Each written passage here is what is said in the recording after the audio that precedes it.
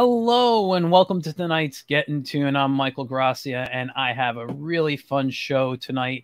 Um, I'll be bringing on my guest in a few moments. Um, but before I do, as usual, it is time to show this week's whiz. This week's whiz was was a uh, um, uh, a single panel gag.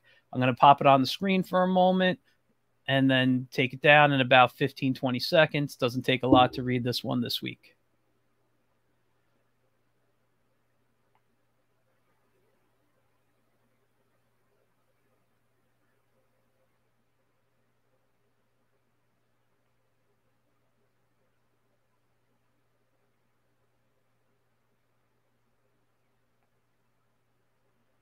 All right. And that is this week's Whiz.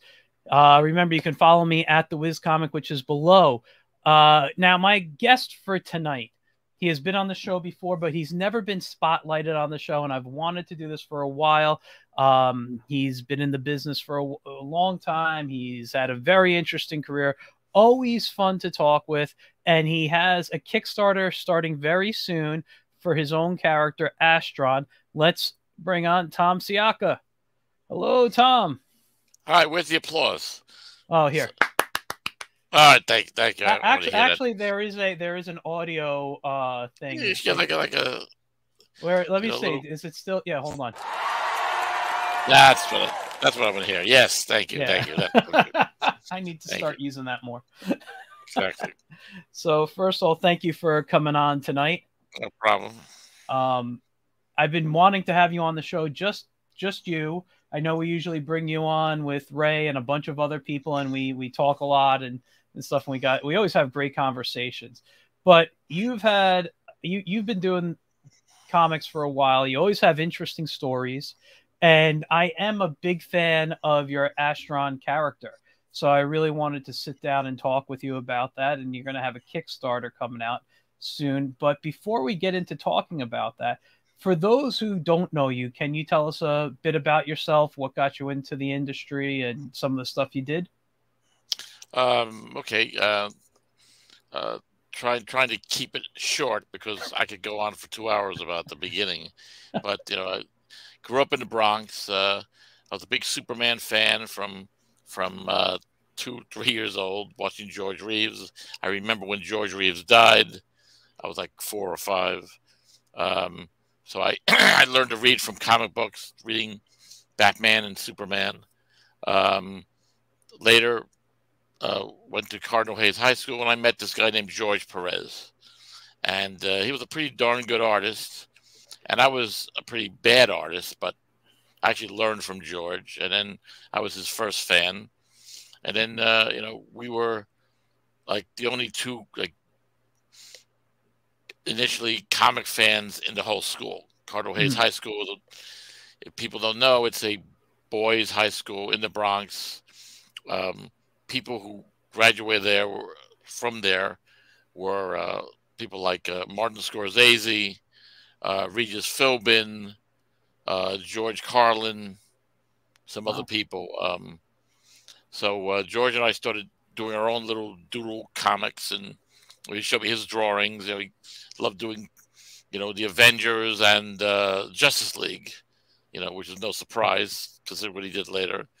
And I mm-hmm. was you know, trying to draw, and then, then um, around the 1969, 70, around there, and I said, "Oh, you know, I want to come up with my own character."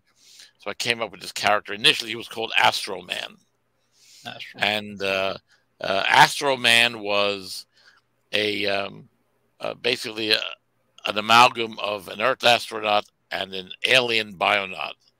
The two spaceships crash in space, a huge nuclear explosion. The two um, uh, life forces form into one, one being, and uh, that was Astro Man. Later, we called him Astron, but Astro Man was the original. So I wrote and penciled it. George inked it. Hmm and we did these things on. Uh, uh, we bought these eight by ten pay uh, um, art pads at Woolworths, which I think were like ten cents or a quarter, and then we we inked it with with Flair pens. okay. which I think they actually still make. Um, and uh, that was the, the, the first story that that George ever inked of anybody else. Wow! And uh, I found uh, a few years ago. I actually found the the last page, the original page. The rest of it, I don't know if I if if if any other page exists in my files or boxes, which I have two storage units of stuff. It's possible most of them were lost in a hmm. move mm. in 1980, um, along with a portfolio that had originals of George's, original niches from Superman versus Muhammad Ali. Wow. So whatever. But yeah, I do have one, one page which will show up in the graphic novel uh, as a as an extra, and maybe later on when Ray's on, I will get up and uh, find it in the in the cabinet, you okay. know, show people. Uh, in any case, uh, so George and I we started doing all this stuff, and we did fan we did some artwork for fanzines, blah blah blah blah. Factors Unknown, which was the first one we did, and then uh, we graduated from high school. We both were like hanging out with Rich Buckler and assisting him, etc. And because uh, Rich also lived in the Bronx, and uh, we did a fanzine called Conjure. And then around that time, uh, George started um, doing stuff at Marvel. And then I, around the same time period, I started doing some writing for Marvel for the black and white magazines for Archie Goodwin. And then I started doing a lot of stuff for Don McGregor, who, who then he took over the black and white magazines, and I did a bunch of stuff for him. But it was all behind the scenes because he was doing humongous film reviews. Okay. Um, and I was the one because I, I was going to college also at Bronx Community College reviewing films. I had the connections with the film companies. So I would supply the photos. So he did like this entire issue of Man with the, of Deadly Hands of Kung Fu, which was a Man with the Golden Gun James Bond um, review because he hated the movie. Um, so I supplied all the photos, and I was paid twenty dollars a photo. So I made more money lending them photos for all these different issues of Billy Jack and some others than I would make writing. So, and I took and I took uh, uh, Don to the screening too at the Rivoli Theater. So, um, but then you know after that, I uh, somehow got to, to assist Stan Lee on a bunch of things you know, he, he would come down to the office and I would be there hanging out, you know, after school and he'd say, Hey, Tom, help me with this. Help me with that. You know, I need your help with this. So, uh, and then eventually he goes, Hey, Tom, can you help run the Marvel Con for, you know, for me? You know, I was like, Oh, okay. You know, I helped run the Marvel Con in 76. And then Vince Colletta became art director at, at DC and I had been assisting him a bit. He, he told me, well, why don't you come and uh, I'll get you a job at DC. You can be my assistant there. I was his assistant. He was the art director. Mm-hmm. Technically, I was the assistant art director. Technically, not money wise, but technically. Yeah. You know, so when I was there, I, I discovered, I suppose, like Trevor Von Eeden and uh, well, Frank Miller, who I had known hanging out with him in the village. Um, and I brought him up there and he got his first gigs at DC, and he never paid me back money I lent him for dinner, like forty bucks. He owes me. Get. Uh, Trevor Von Eeden, and there's Gary Cohn. I helped uh, Paris Cullins. You know, so there's a bunch of people that you know that uh, you know, and then you know, and I brought George, by the way, to his first comic convention. He'd never been to one, 1971, and that's oh. when we were trying to. I was trying to be his agent, so I was trying to get him a job at DC or Marvel so I showed his artwork to like Neal Adams, whatever, and it was very nice. He says, "Well, you you know, there's possibilities here. You need some help with anatomy." He sent us over to these guys doing this these fanzines. He "Well, these guys could probably print your stuff, and it's a good way to start." And who the guy was? It was uh, Paul Levitz and Sal Quartuccio. Paul was 13, was doing the comic reader. Sal Quartuccio was doing a prozine called Phase. So they looked at the stuff, and then next to them was a guy named Jim Glenn, and he was doing a fanzine called Factors Unknown. So then that's when we started doing the fanzine. So I know, so Sal, who, who became you know a publisher of you know art prints and all this stuff, mm-hmm. pretty big. And then of course Paul, we know what happened with Paul. Yeah. So uh, so I know all these guys from. But anyhow, so I worked at DC, and eventually then I published uh, while I was DC. I'll give you the story. While I was at DC, I did the famous Astro, Astral Comics, Comics, yeah, number one. So I, I revived Astron Star Soldier. Hmm. I, I, I, he originally was not called Astron Star Soldier, but that's something as I was doing it, and then I'm gonna get. Oh, okay. I go, go ahead. I was going to give um, you the screen so you could show the, the, the comic better. So if you want to hold okay. the comic up, and, I, will I'll hold the, the, so the back cover, the front cover is by Mike Grell. Mm-hmm. The back cover is by Walt Simonson. Wow. Okay. The inside front cover is by um, Garcia Lopez, Jeez. and then and then the the initial story I got is, is one of the first um, um, they call the uh, um, uh, not, not gang. Uh, uh, it's it's a story inked by a whole bunch of different people. Yeah, you know, I forget I forget the term of it now, but uh, so Rich Buckler inked some of it. Tex Blaisdell, Joe Rubinstein, Jack Abel, um, uh, John Workman, a whole bunch of people worked on it and, and lettered it. So, you know, a whole, whole bunch of superstars. Yeah, I was going to say the list of names just in that book alone is is phenomenal. Yeah, well, I, I Shanghai them all because I was working there, so I I was you know penciling the book, and I would just like pass pages to guys. Say, You got some time to ink this, you know, and, and a lot of them would say, hey, hey, give me some more of that stuff to ink. That's fun, you know. Yeah. Tex Blaisdell was great. He inked a lot of it.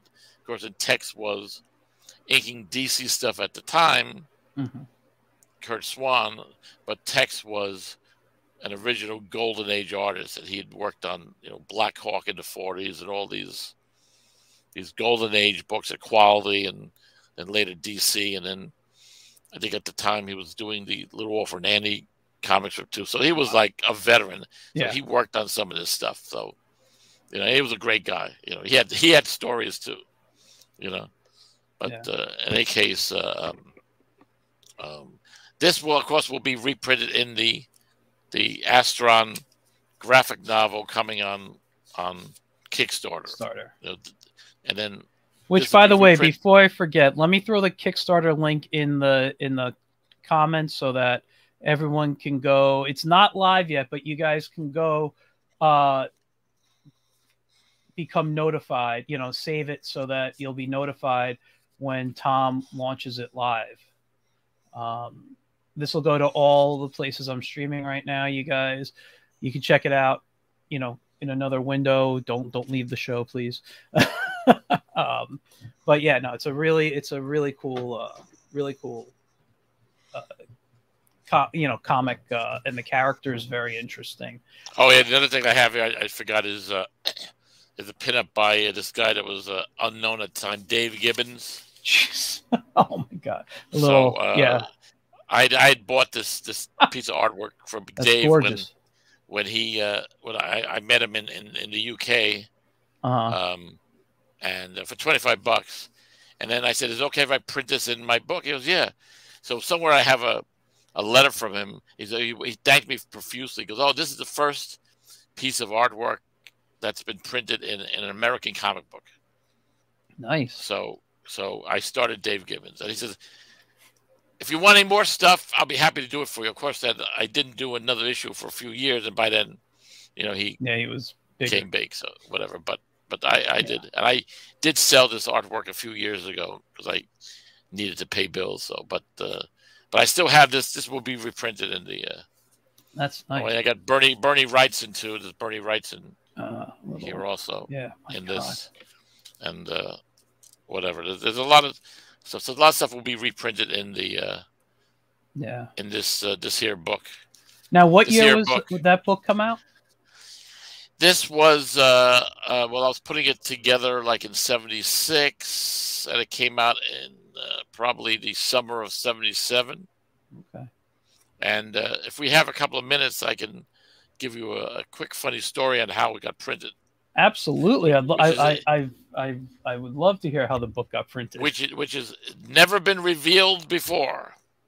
So this is an exclusive to exclusive to Mike. Grassia's Tune In. Get into okay, it. so so I worked at DC Comics, so I was basically a glorified assistant, you know, mm-hmm. and it basically. Uh, but but I was under the auspices of either Vince Colletta or Jenette Kahn. No one else could use my services mm. for for doing things or yeah. getting stuff or whatever. You know, a glorified gopher, but I got to see the inside mechanics of everything. That was the best thing about it. was that so so being assistant to Jenette also, I was the go-to guy. Was here, Tom. Um, Mario Puzo just came in with the first draft of the Superman script. Can you Xerox it for us? Sure. Of course, naturally, I, I read it too, and I have copies of the the uh, the outlines of the first two movies with all the cut scenes and different things that never happened.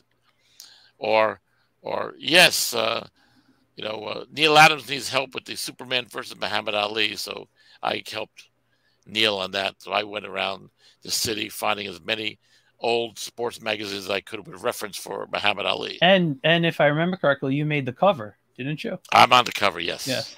And I helped him with some backgrounds too. And I saw Neal in his underwear, but that's another story. No, that's yeah.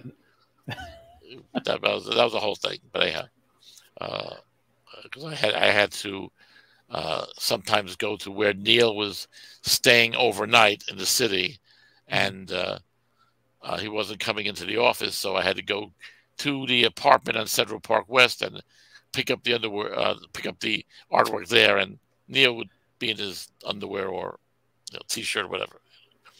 But anyhow, uh, but anyhow, the printing of the book. So yeah. So I had assembled the book from you know annoying all these people and getting them to do artwork for me, basically for free.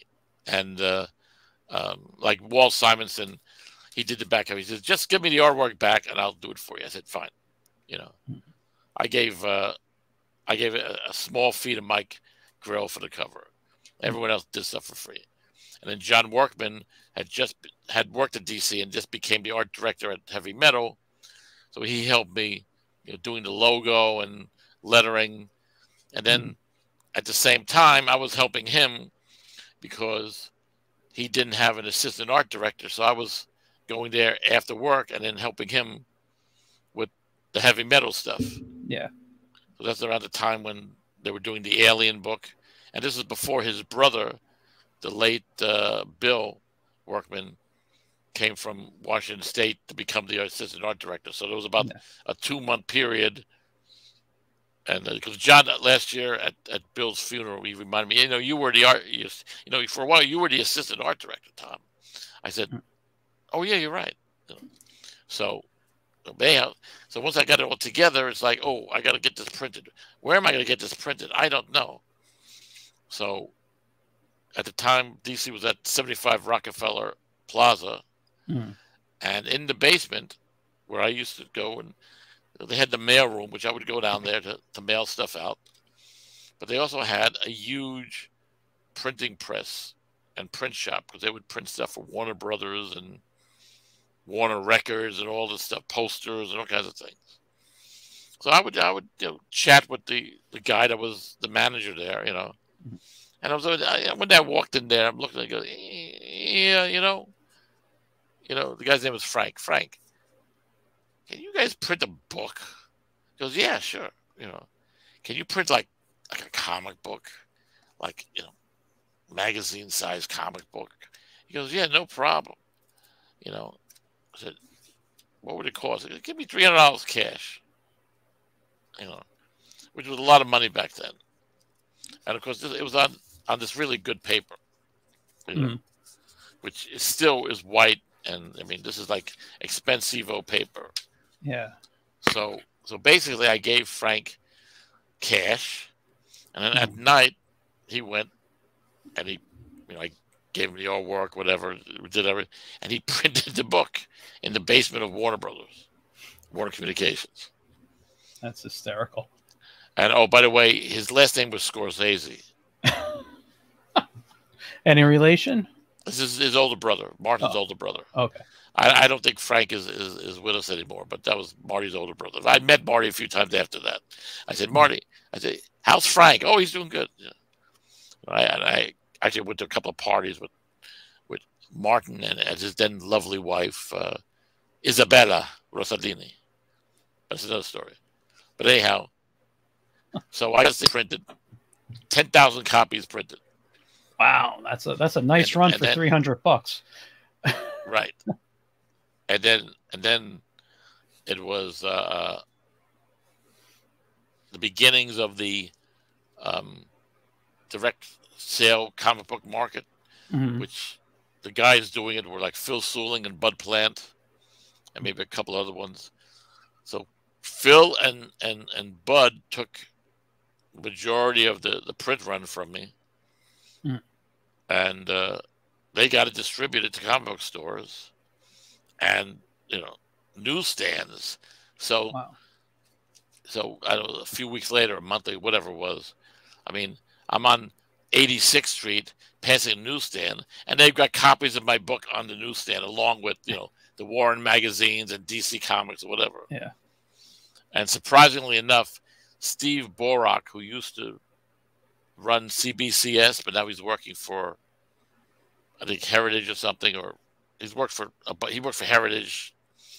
But he told me that this was like one of the first comic books he ever bought as a kid. Really? So, so he, he's a fan of Asteroids. So. But yeah, so I sold a lot of these copies. Of course, then back then I didn't. I wanted to do another issue, but you know I was going to school too, and then I was working at DC, and then I I suspended college for a while. But you know the money comes in and the money goes. Yes. So, you know, so I didn't really get a chance to do another book until like 1980 when I kind of partnered up with uh, Rich Buckler, who had done a lot, done a lot of stuff. But in the meantime, um, and this is a little, is another exclusive for you. Okay. So one of the uh, the guys who initially I wanted to see if I get a pinup from was Al Milgrom, and he goes, "I'm not, I'm too busy now because I, I was like working as an editor at DC. I'm too busy to do it. Oh, okay, okay, Al. Now after I printed the book, I I took you know, I don't know how many copies I I passed out copies to Mar- the guys at Marvel and DC, you know, Yeah. because I had this this really naive, stupid idea that oh, maybe if I showed them this character and this book that I did, that maybe then they would hire me to like do something or at least uh, maybe I could sell the character to Marvel or DC, Yeah. You know.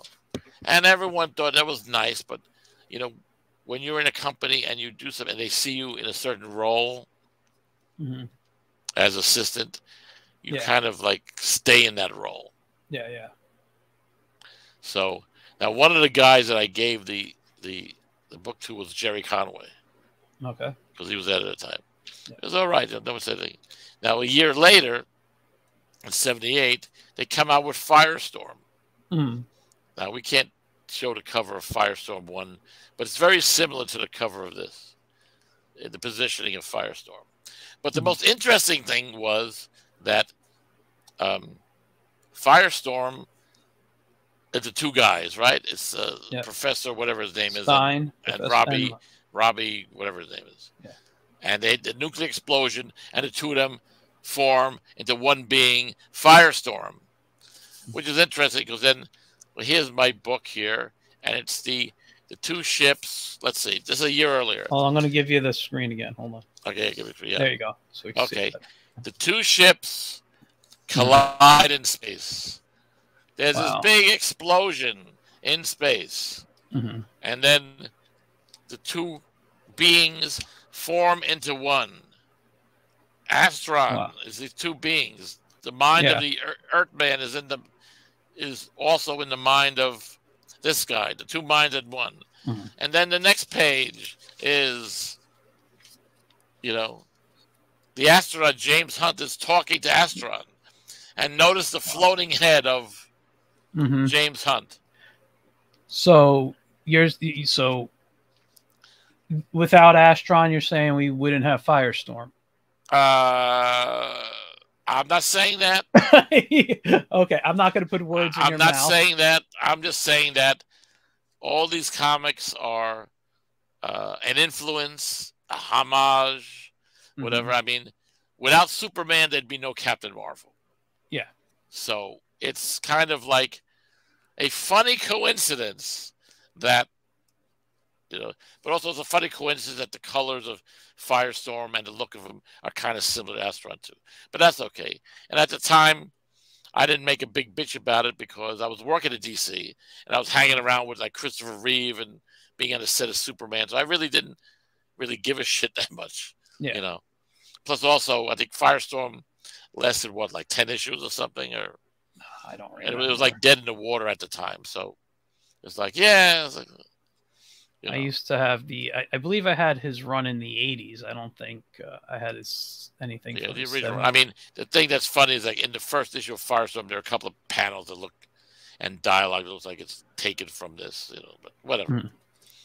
But the bottom line is uh, now uh, the Firestorm fans look at Astron as like his like father or grandfather or something. You know, so so it's okay. You know, Hmm. both characters can coexist.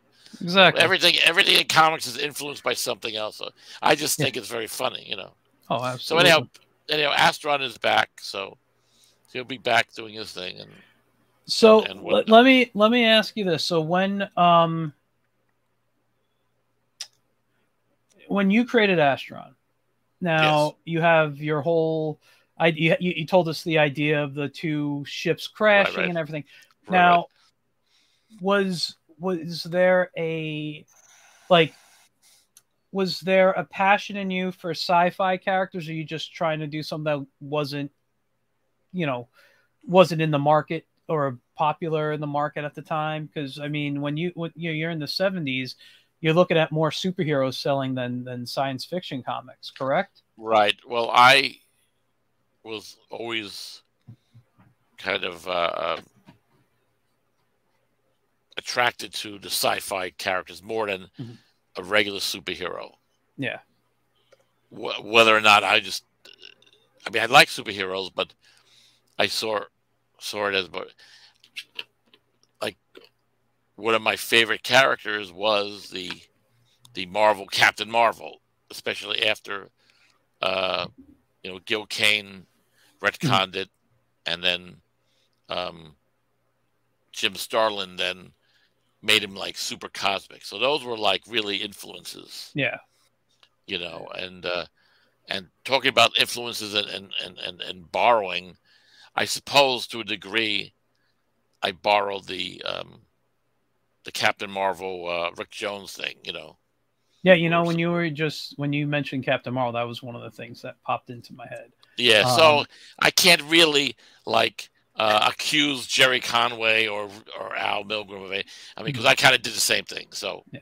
it's it's, No, it's listen, all it- fair in love and war. Yeah, I was gonna say. You we- I mean, everything is influenced. I mean, I have. I don't know if I've talked on the show about it, but I I have I have a love of pulp comics and pulp books, and without you know um, uh, uh, John Carter from Mars, without Doc Savage, we wouldn't have Superman.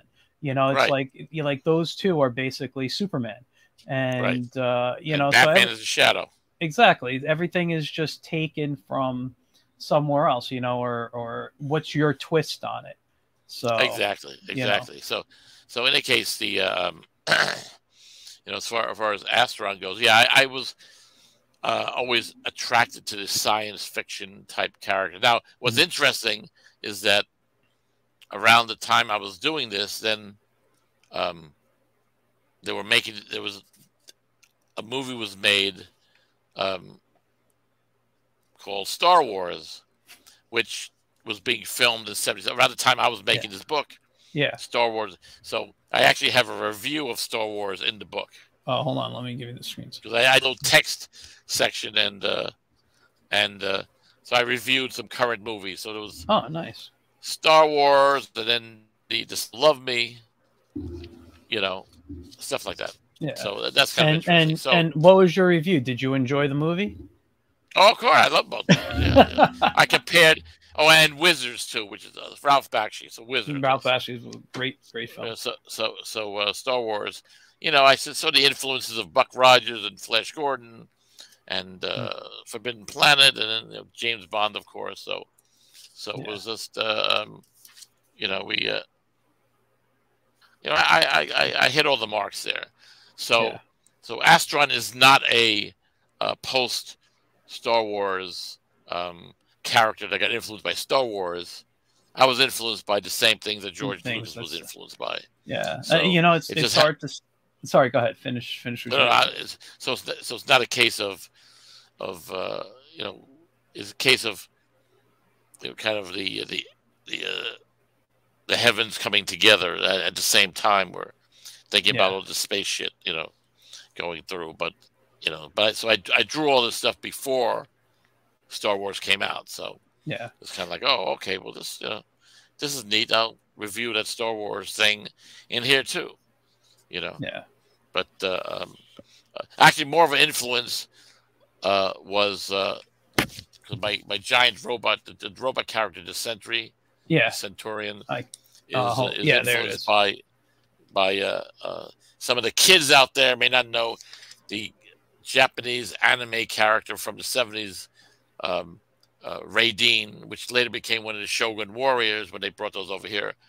But uh, Raydeen was a character that um, I knew about because there was a Japanese bookstore, which is still in business, Kino Kinusha.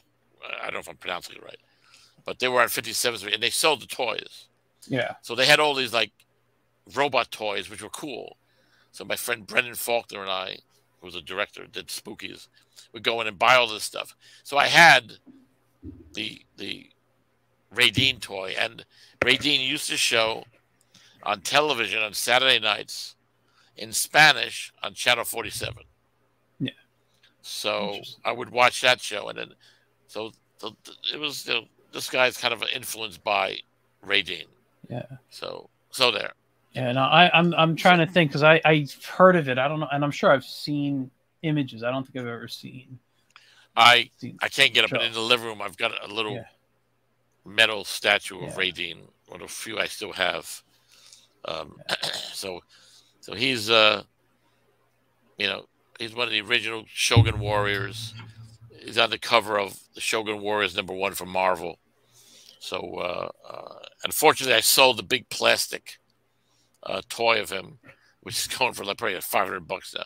Wow. But but I wouldn't have room for all this stuff anyway that I used to have. I I had all these toys that later became uh, uh, you know, Transformers or Voltes Five, all these big robots. And by the way, in the Philippines, they have a licensing deal, and they they've done a live action series on the Japanese robot series Voltes Five. Really, I wasn't So, aware. and I've seen clips from it. and It looks great, but you know, of course, this stuff is not available here. So, Yeah. so I don't know. Unless you see clips on YouTube, that's about it. I, I spend a lot of Uh, time on YouTube looking up, you know, foreign, uh, you know, um, television shows and stuff that people have told me about. So this will have to be something I'll, I'll look Ooh. up. I just posted something which, which I found, um, because you know the, the Koreans or whatever they like to do knockoffs. You know all these.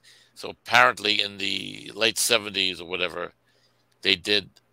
The Koreans did their own anime, and they did an animated version of Batman. Okay, So there's a there's a so I just posted it on my page, Thomas Sciacca. I'll have to look that Yeah. up. It, it, it's the whole feature from YouTube, and it's except Batman. It looks like Batman, except he's got a yellow costume. and then he, he fires like bolts from his hands and flies. You know? okay. So, so, so, but but but it's Batman. But they don't call him Batman. They call him uh, Bat or, or, Golden Bat, which is a ripoff of the Ogon Bat, Golden Bat character from Japan, which is a different character. But they, whatever. They, but those, yeah. those, it's a ripoff Batman character. So I have that on my page, so you, you guys can find I'll, it. I'll check that out. But I have someone who I want to who, who's in the green room now, ready to come on the screen. Um, he's someone who you know you work with, someone who uh, who was integral in helping you get uh, get this, uh, I guess, the Kickstarter or the Astron book back up. Uh, let's bring on Ray Felix. In the car. Jesus. Hey, Ray. hey, what's up? What's up? What's up? Hey, there he is. It's Ray. Ray, look like just woke up. Ray. No, I've actually been doing grades for the last two hours. Oh, no wonder that you look like that.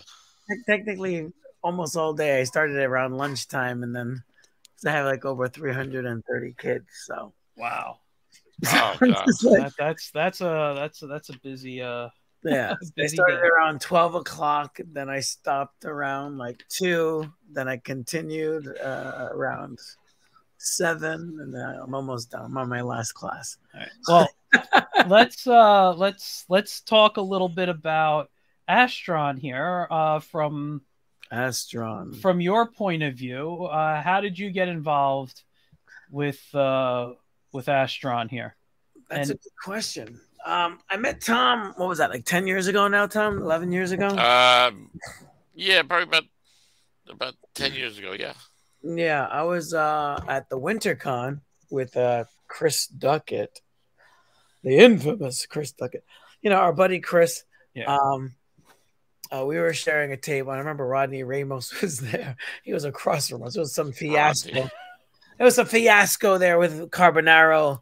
Basically, I paid for a table. Then Carbonaro tried to give me half table with Rodney, and I was like, "Wait a minute, wait a minute! I didn't get a free table. You charged me." yeah X amount of dollars for a table. So I was like, Rodney, sorry, but you, you know, he sat Rodney behind me, directly behind me, and then Chris was sitting with me. I just want to take a moment. Sorry to interrupt. I just want to say hi to Dylan, who's been watching since the beginning. Hi, Dylan. Um, but uh, continue. So Rodney was behind you. Chris Rodney was next to you, and and then um, I think we are still selling the Bronx Hero soda at that time. Yes, I bought uh, I bought the soda. So Tom comes to the table, I think because he saw heavy traffic with the arrow on the head and stuff. And he's like, Oh, that looks like my character, blah, blah, blah. Would you guys do a pinup for me? Blah, blah, blah. And we kind of hit it off. So am I right about that? I mean, you're Yeah, yeah, yeah, pretty much. Tom yeah. has a sharper memory than I do, but when it comes to like, you know, like events and stuff like that. Um, yeah. Yeah. And then I think from there, um, Tom hired me to put together his Astron comic book, the, the magazine that he was showing you earlier and then I, I shrank it down for a comic book format.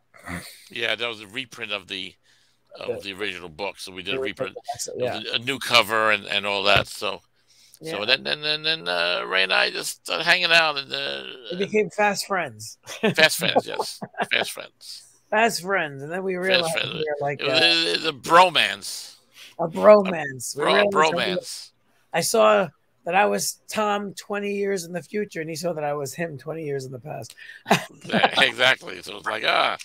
And plus, also, our birthdays are very close. We're two Sagittarians. Yeah, two Sagittarians. so, so, so, we, we have the Sagittarian, uh, how, how the Sagittarians can annoy people. That's what we do. Yeah. So, but uh, yeah, so so from there on, the legend continued. Like, the legend uh, continues, like the Zorro know, and the son of Zorro.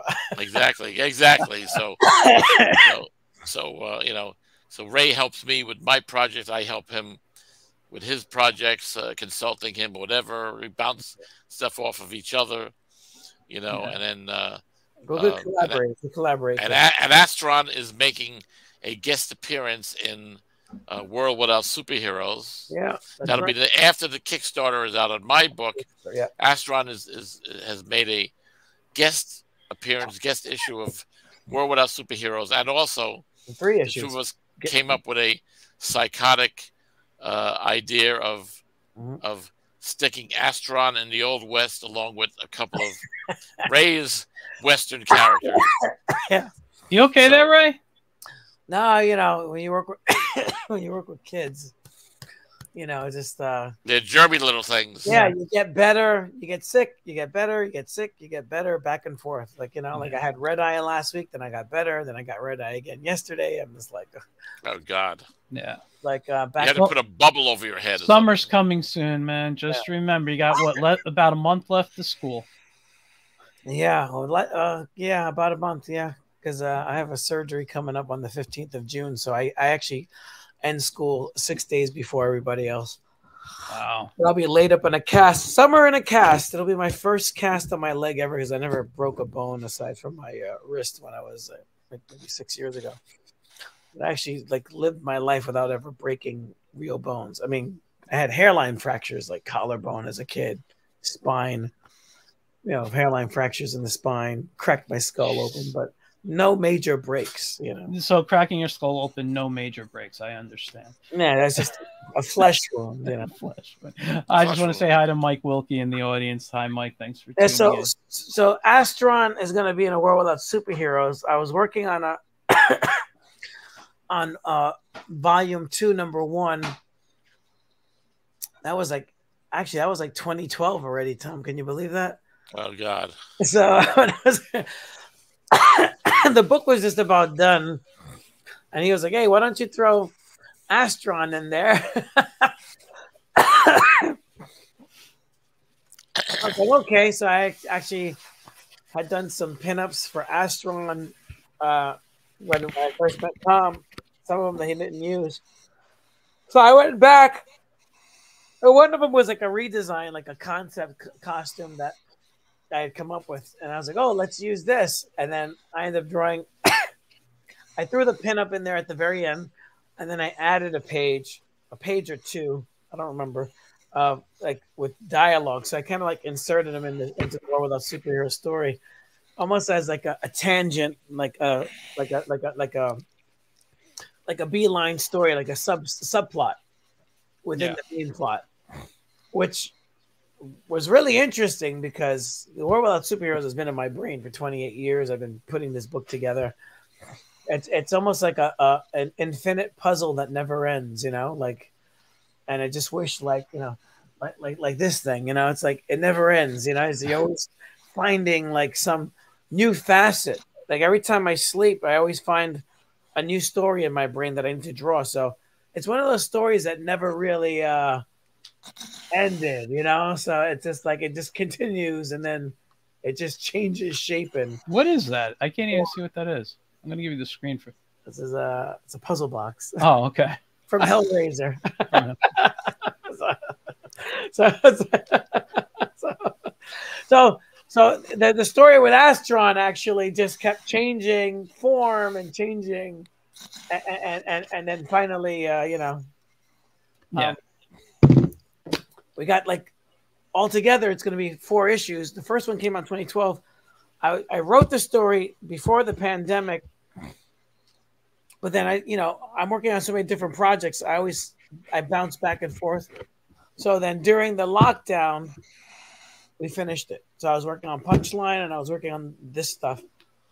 So and then we basically finished it. I just got to sit down and color it. That's going to take forever, you know, but uh I think 2024 it'll be out. The because I wanted to release it as a graphic novel instead of individual issues, even though I, yeah. the first part was already individual issues.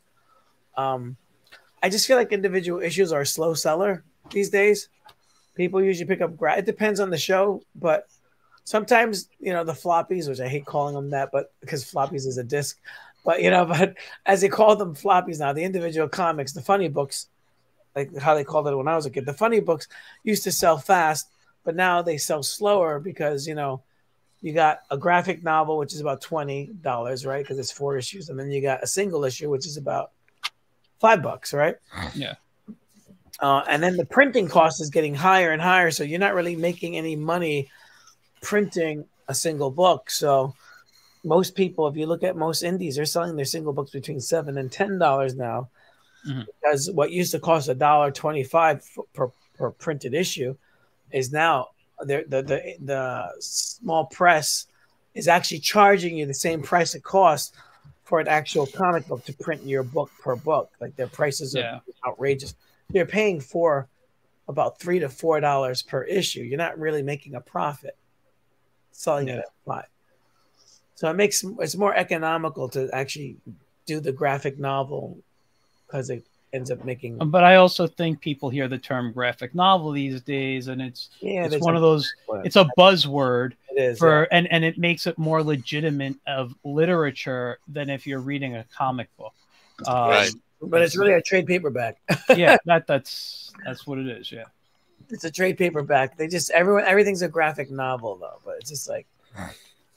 But you know, I think you know, we're never too old to learn. Tom and I are always learning new things together by exploring the past. Yeah. Exploring the history of comics like westerns and stuff. Mm-hmm. And uh and and and I just got um I'm just fascinated by the whole genre of comics, you know. Oh, I've always said to me it's the greatest uh, genre because all you need is your imagination and skill with a pencil. If you can draw exactly. it, you can go there. You know, I mean, it's yeah. It's about telling stories and you know, exactly. You know, just just sequential panels there. It's a it's a fun thing. I mean, I was working on stuff earlier today, uh, and I, I I think, you know, even though I love animation and I love to animate, I think my most fun might be when I'm sitting there working on my comics. Yeah, you know, I think uh, there's just something about there's an excitement that I get in me. Um, and I, you know, I don't have anything next to me to show. Otherwise, I would have pu- pulled out a few things. But it's, uh, I was doing tons and tons of sketches uh, today before I, I went on my, uh, I, I started my day job, and then on my lunch hour, I was drawing as well. It's a lot of cool stuff. Lot, actually, I have an Astron picture because I knew you were coming on tonight. I wish I uh, I moved it to the side. I gotta I gotta find it. Maybe I'll see if I can get it before we end the show. Yeah, um, so you did a you did a you did a pit up. I did. Well, it's a little sketch. I mean, I keep my sketch pad next to me. This is this is a, a villain's the head of a villain from one of my characters I'm working on. Um, before Zod. Cool. Yeah. So I was just like, uh, I mean, that was what I was doing when I punched out of work. Well, actually, here's something. This is just a loose thing I was working on today. Is that the um, peanuts? is that a peanuts pillow behind you? I, it's a peanuts blanket. I got it for Christmas. Oh, nice. My pillow behind me that's helping me with my back is a Lord of the Rings uh, uh-huh. pillow. But um, so this I know it's hard to see right here, but I was laying out a page, and it the, the idea is on the first I, I, was trying to make it a one page story so I can go into the rest. Right. I wanted to basically tell the guy's origin and he's you know, he's a sci-fi hero like Tom, I'm a big sci-fi fan. And he fly you know, I wanted him flying through space, but I wanted his jet stream to kind of be the panel breakup. That was what I was kind of cool. playing with. But I don't I think I'm gonna have to make it two pages to tell his story. Um, I always wanted Bruce Timm to do an Astron animated series. every. That would be my that would be my dream. Maybe we can maybe we can draw it in his style if we can. Uh, I could definitely exactly. uh, I could definitely do an Astron in his style for you. Oh yeah, definitely. Uh, but yeah, so um, uh, uh, uh who's it? Oh, Dylan asked his name. You know what? I don't remember his name. Uh, my friend wrote the comic for me based on characters of mine. My friend Don Smith, who's been on the show before, and uh, it follows a trio of of heroes. One is a Native American like mystic. Um, the other is a blind kind of like I don't want to call him Daredevil, but he's almost like a blind Nightwing. And let's say that. And then the other one is kind of like my version of Captain America. You know. There you go. Um, so it's a trio of heroes. But he's like this German resurrected uh, evil villain from the past or a descendant. I forgot what he was. Now. Why is it always the Germans? I didn't write the script. My friend did. Oh, it's always the Germans. It's oh, oh, actually, you know what? No, no, no. It's Russian because his, his okay, that's better. He goes by uh he goes by Czar something. That's I that's don't better. remember. That's better. Yeah, Russian. Yeah, actually, actually, the best thing that ever happened for movies right now is is is Vladimir Putin because now we can make the Russians bad guys again. It's like for a while, it was like, who can the bad guys be? We can't really blame it went from the, the Arabs because it's like not all of them are bad. It's like, but now ah, good, the Russians now good. Okay, so now every TV show now has the Russians as the bad guys. So yeah. ah, good. It's just like the good old fifties. Just like the, the, good old days, yeah. exactly. It's like good old days, but ah, those commies.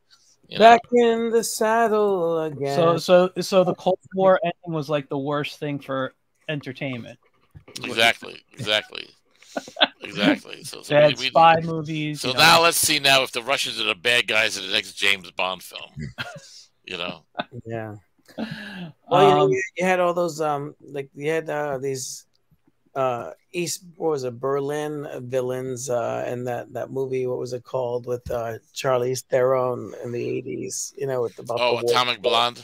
Atomic Blonde, yeah. Atomic was... Blonde, yeah. That was, but that was taking place during it was still before the wall fell down. So they still were commies. They were still commies. They were yeah. still commies. Yeah. So that was that was that was pre 1989. So it was still commies or bad guys. And then the ending was very confusing, where she went at being from a double agent to a triple agent. You're like, okay, this right. is somebody somebody's brain exploded with this ending. so, like, well, I, I like that movie, but supposedly they were they're, they're, supposed to do a sequel, but I don't know if that's ever going to happen. Yeah. Oh, yeah. But uh, that was a pretty good movie. You know, I yeah. like Charlize Theron. They should have just called it uh, Black Widow. yeah. Well, yeah. apparently, she's in the new uh, Fast and Furious movie, which yeah, I I will, will skip. Apparently, it's, it's pretty bad. I, yeah. I didn't see the last one, number nine. Both so. of them are terrible. They're unwatchable. Yeah, well, the, I think the last one I actually saw was number eight, and that, and they had me where the car goes from one high-rise skyscraper to the other. Yeah, right. well, Jason. That, that, they, they kind of lost me with that one, you know. Yeah, yeah Jason uh, Momoa, Momoa is the villain for the new for the new version. Yeah, I know.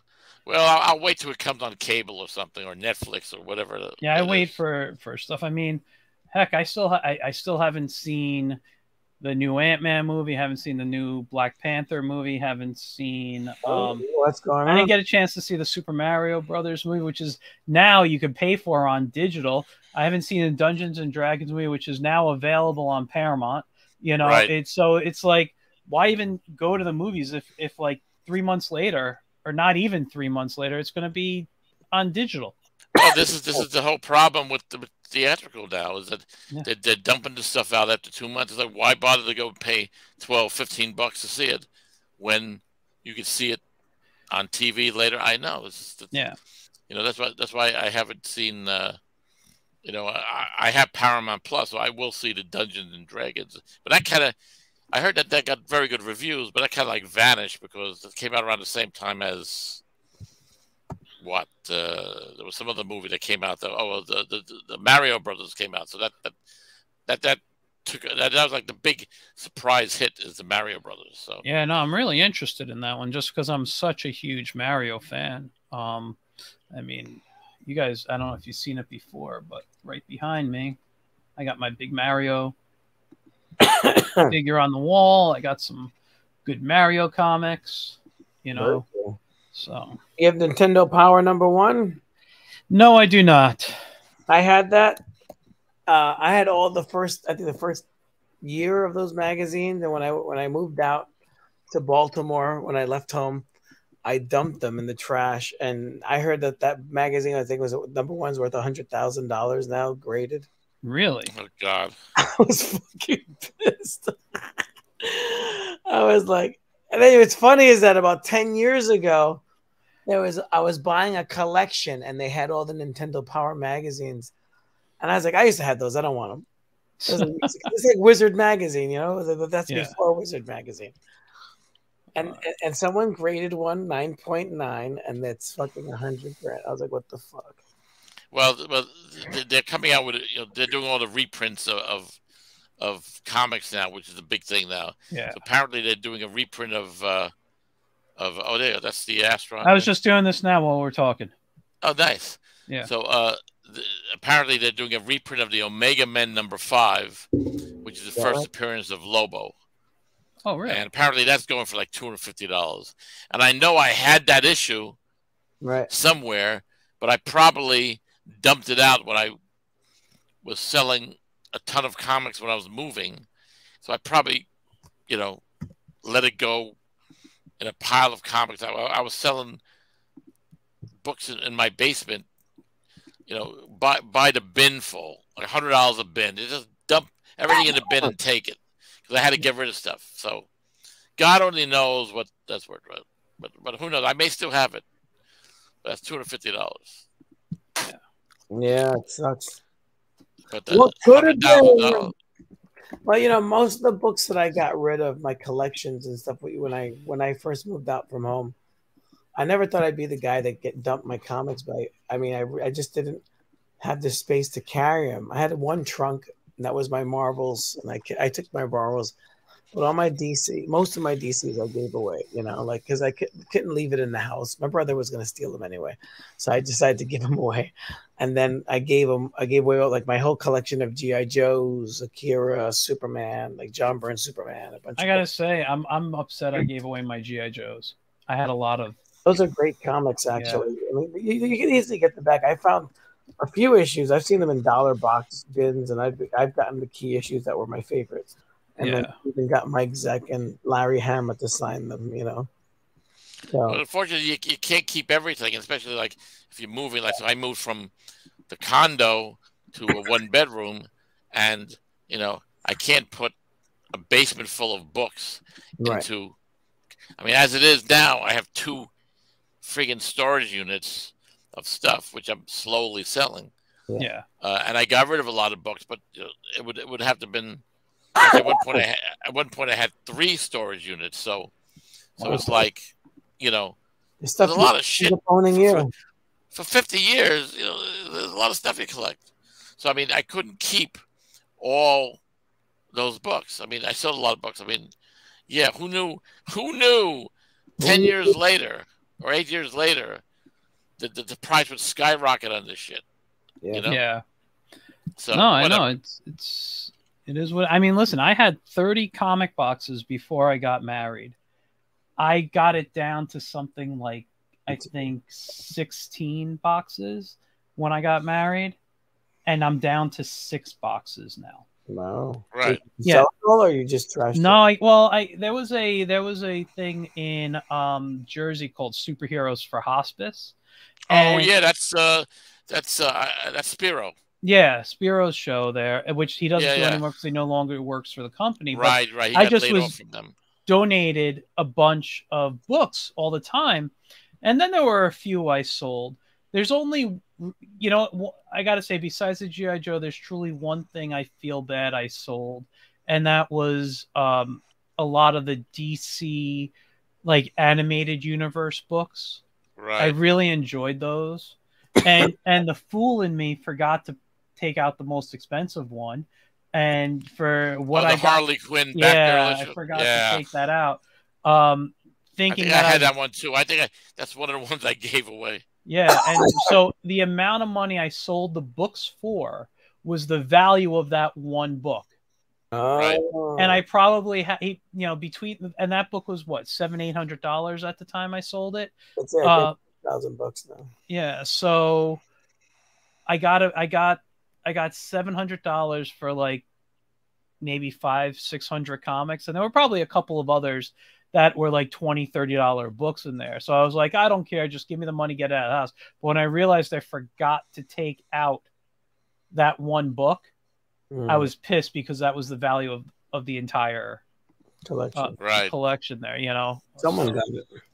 yeah so Right, but I, I, I sold. I had like like runs of like Spider Man from like number like five on. I sold all that stuff when I moved. It was like, Yeah. you know, it's Fantastic Four. I didn't have as many as Fantastic Four, but I had the two the three key friggin' books, the mm-hmm. Galactus trilogy.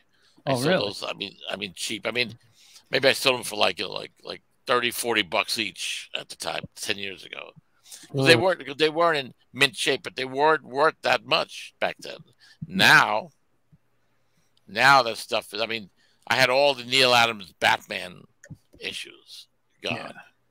You know, and then I had runs of Superman from the fifties until the seventies gone. Now all that stuff is like what can you do? But we're talking about Astron now. And that's what I was going to get us back to in a second. Um, yeah. Astron. Here I am drawing, Astron. drawing your Astron. Yeah, I mean, do you ever think about doing a porn of Astron? A what? right. Stop. you know, you know, you know, Rake, we're always go into the gutter when you. Uh, yeah, of course. Yeah. no, but but getting back to Astron, there. So joking. the story of Astron, I'm gonna. yeah, I want. Go ahead. I want. I want to get back to it. So, so uh, let's get back to the. So the original story of Astron, I had, I didn't really have a. I mean, he, he, he the first story ends with him battling the uh, giant robot in Times Square. Okay. And you know, there's a there's a battle on top of the at the time the Pan Am building, you know, where he uh you know, and then of course then he blows up the robot and all the debris fall and you know like an innocent person gets killed and he feels very guilty, you know. And and it's the whole thing where you know Hold on, let me give you the screen here. Give me the screen. Yeah, yeah. Yeah. There you go. Sorry, I keep coughing. okay. That's okay. Uh, so then, you know, Astron saves the city, whatever, but he kills a, a, an innocent bystander gets killed. Oh. So one of the, uh, uh, you know, uh, the bystanders, the, the, the boyfriend of the girl, Julie, says, Get away, you damn dirty alien. You've done nothing You've done enough to ruin my life. He said, We don't need your help. You can save a city, but one life to you is meaningless. And Astron walks into the distance, and the humans viewing him with hateful eyes do not see that even an alien can cry. Oh wow! That was that was the first. So I, I even then I had this kind of like tragic kind of thing going on with Astra that he's got all these all powerful weapons or whatever, but you know, there's there's a which is something which they haven't really um, touch on in all these Marvel movies that there's a negative side to all these powers. Yeah. There's a negative side to these guys, you know, blowing up fucking cities or whatever. I mean, I've got, you know, Times Square getting blown up or whatever there, but people die. So who do they blame? They blame Astron because hey, yeah. you know, if it wasn't for you, because he's blue, he's blue. yeah, you know, and then then I then the, the follow up story is, you know, uh, was written by uh, Len Rosenberg, who was a science fiction writer, and uh, it was a good friend who's passed away, and it's kind of a background in Astron, but basically Astron is a cyborg. So he also is probably the first uh, uh, non-binary hero because he basically doesn't have uh, have have those uh, sex organs that you need. So so he still can love, but he just can't do the deed. So, but uh, talking about non-binary characters, I just read that book, uh, Genderqueer, yesterday because I've sort of those. It's on the cancel list. And you know, I've always say, I always say, oh, there's only two genders, but after reading that book, I'm just like, well, I get it now.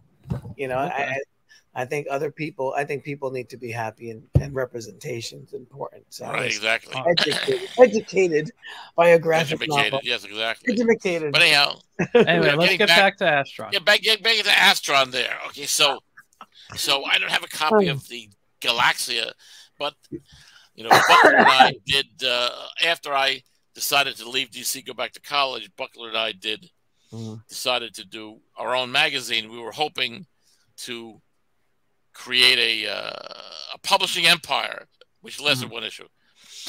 we did Galaxia. Ah, isn't that the way it always is? less than one issue. But we did we did Galaxia number one, and there's Astron story in it, and Buckler kind of like his influence. Kind of fleshed out the whole Astron story, so we went into a whole thing where uh, um, uh, Astron's home planet Zena is taken over by uh, the evil empire, which is the Shadar, and uh, they're basically like uh, like the Cylons, whatever, except they're they're not robots. But the, the, the giant robots are like they're Centurions, so and uh, they basically decimate uh, Zena and take it over. So uh, Astron has to free um, his planet because that would have been starting in the third story, which would have been Galaxia number 2 mm-hmm. which was supposed to be published by Archie, which didn't ha- happen. They announced it, we did the story, and you know it didn't it didn't happen.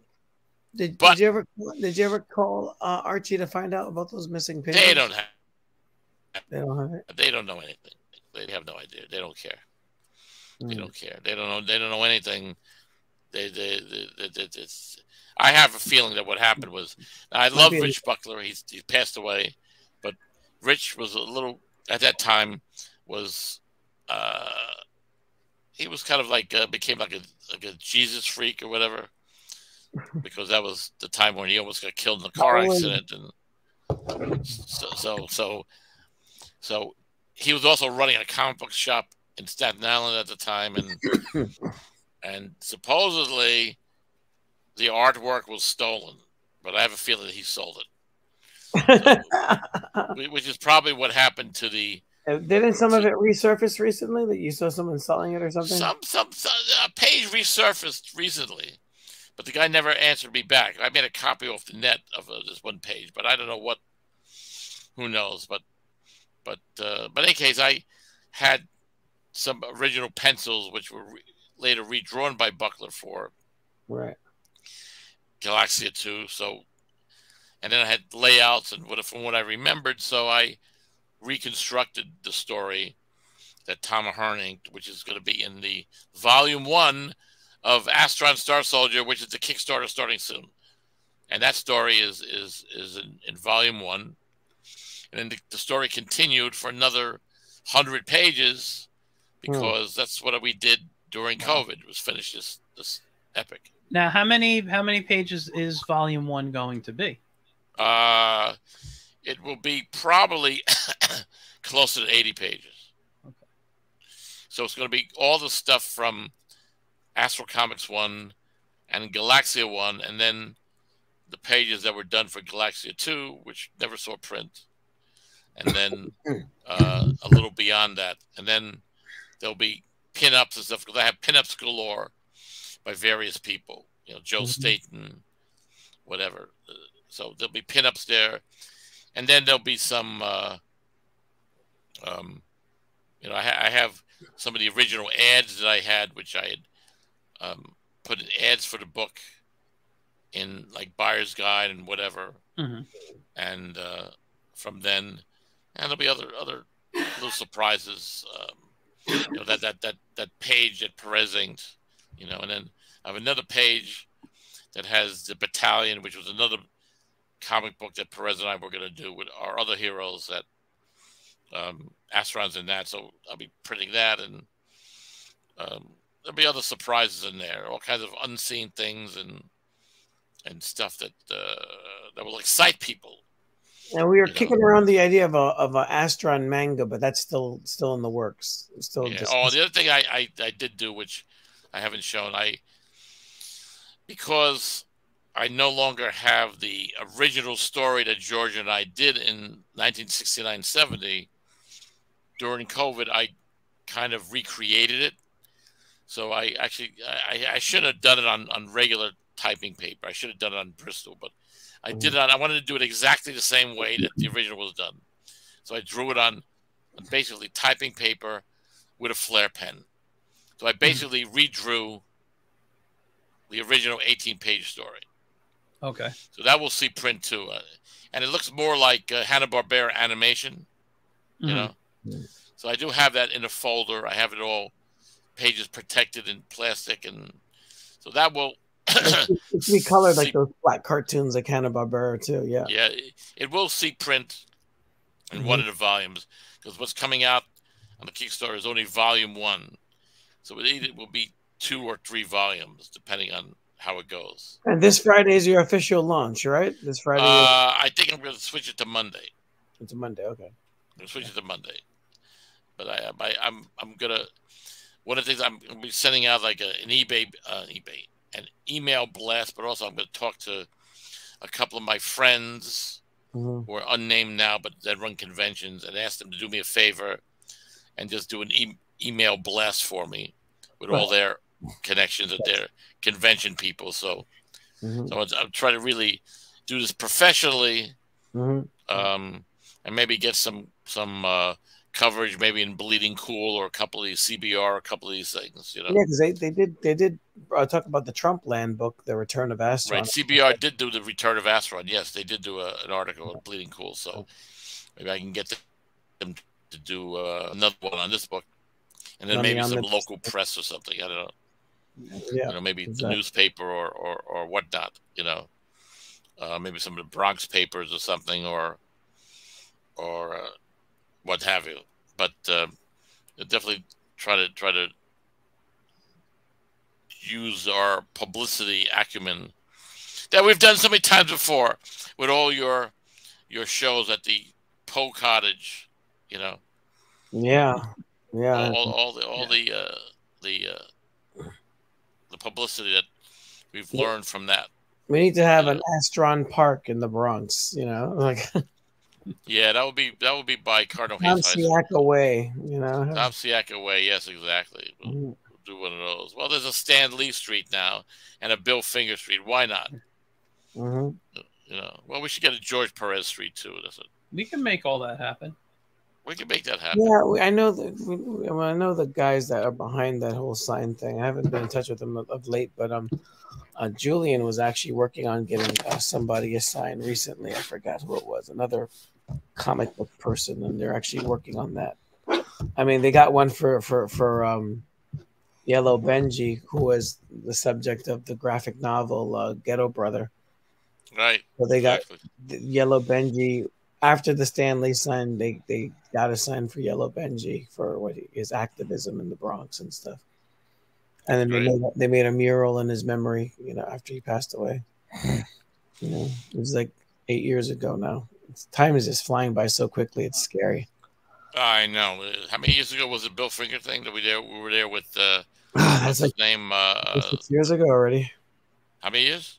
Five or six years ago. That was the same day that I was. I think that was the same day I was filming Comic Book Man, or I was going to a convention. I forgot where it was going, but that was the Bill Free. That was where uh, what's his name? The, uh, was there, and the, the, the the Batman voiceover guy came. Yeah, yeah, yeah. What's his name? Kevin Quick. Conroy.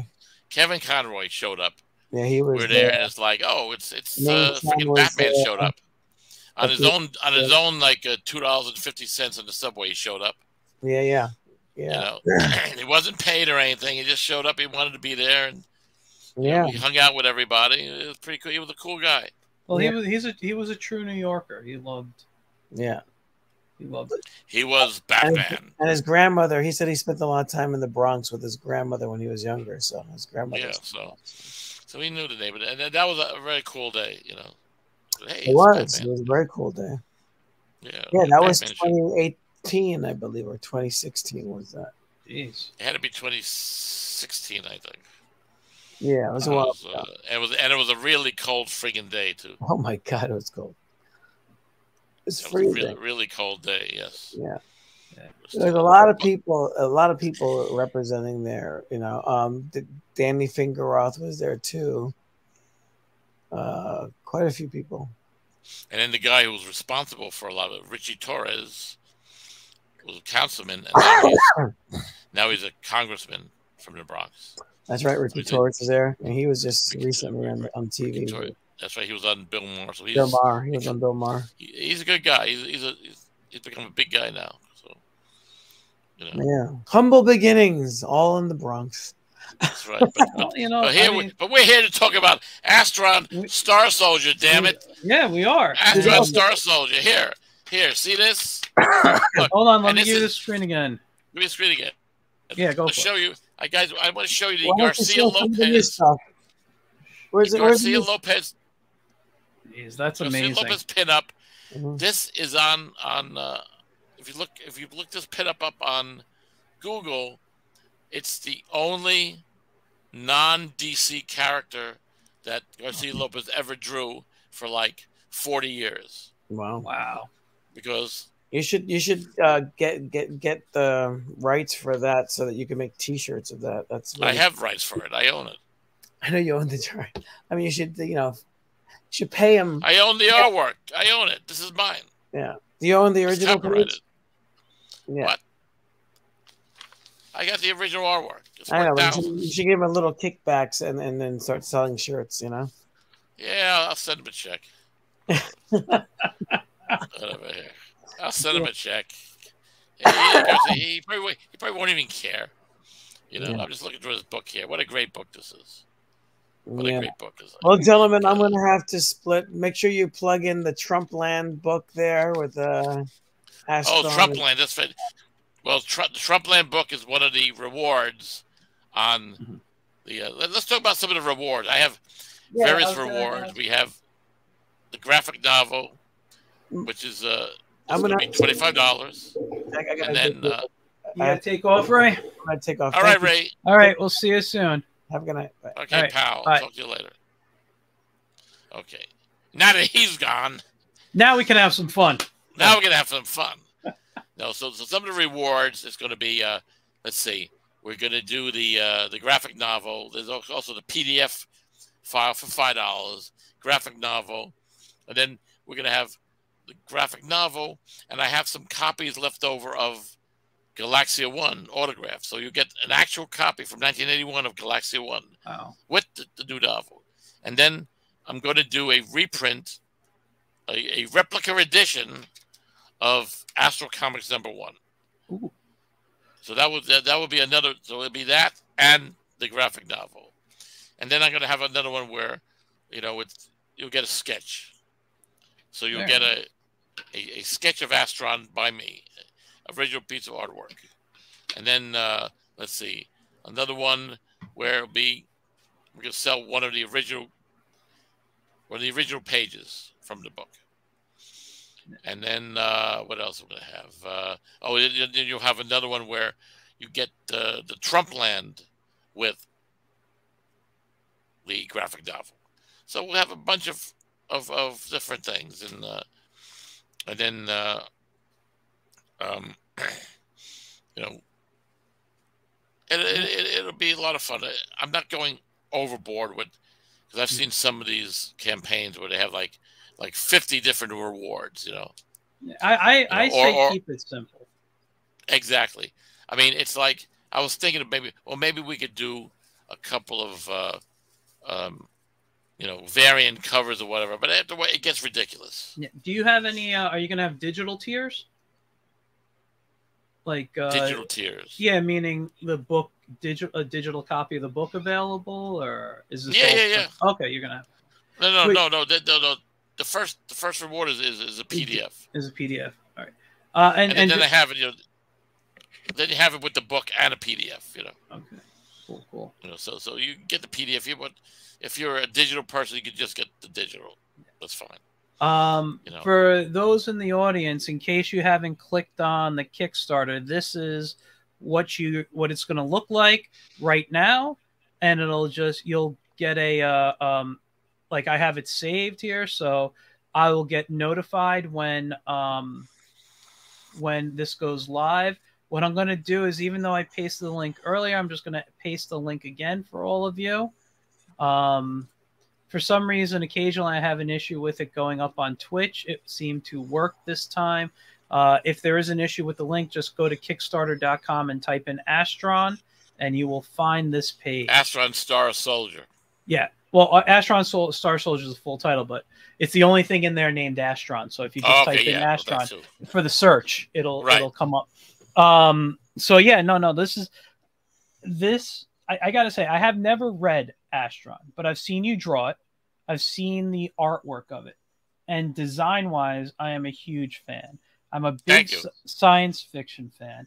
I will tell you right now, and I think I've told you before, if you need a pinup, you need a few pages, you know who to come to. Um, no problem. I'm, I'm very. By the way, the by the way, the illustration you, are showing here, hmm. that is, uh, that was supposed to be a cover for the Galaxia number 2 mm-hmm. and so the original layout is by Rich Buckler, and then I used that layout and tightened it, and then um, our good friend Tom Ahern did the mm-hmm. inking. Mm-hmm. So that is uh, um, that will be the cover of the first volume, and it, it is in color. That it's yeah. not showing now, but there's one of the other tier that shows it in color. That's awesome. Uh, but but uh, that will be the cover of the book, which yeah. was supposed to be the original cover of Galaxia number two, back Tom's in 1984. an amazing inker. I love I love Tom. Ahern, yes, yes, yeah. he is absolutely. Tom's a great inker. But uh, in any case, uh, that's um, that's what that's all we can show now because it's not yeah. live yet. But when this is live, I will be sharing it. I, I appreciate it. That, uh, yeah. And I have a, a, bunch of people already who are who are fans who are ready to help, like Riff, Rik Offenberger, who is involved with the uh, the Eisner Awards in mm. San Diego, but he's a fan, and he's been asking mm-hmm. me when this is coming out because he's a big fan of the uh, the Archie Mighty Crusaders. I love those does, characters too. Yeah, he does the uh, the uh, the Shield, the G Men, which is kind of like a homage comic book.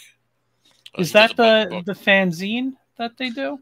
Yeah, it's like a fanzine, but it's a comic book too. He's got Dan Reed, but he publishes a bunch of things. I'm going to stop my share real quick because I think I have a digital copy. Does he sell them on like IndyPlanet? Yes, know? yes, he does. So I actually think I have some of those.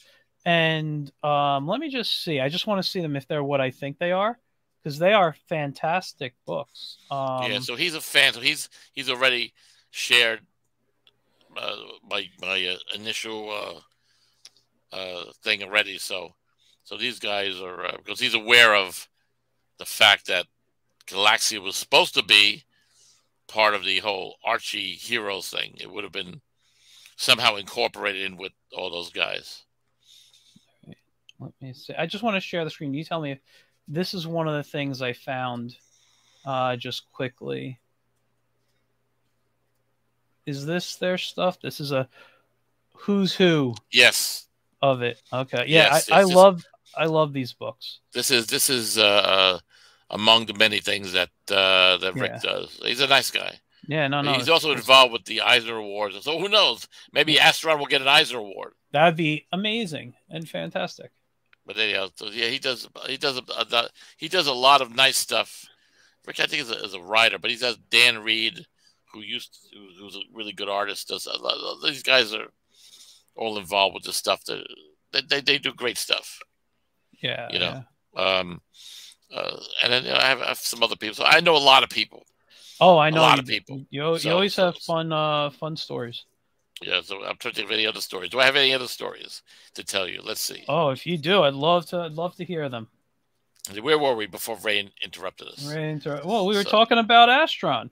Astron. Uh, okay, so and, and, so uh, um, so yeah, so then after uh, you know, then then Buckler and I did the uh, the Galaxia, the Galaxia thing, mm. and uh, and we sold a bunch of copies of that, but then you know, again, it, it, it's a matter of this is going back to the early 80s. So getting the financing for this stuff. Mm-hmm.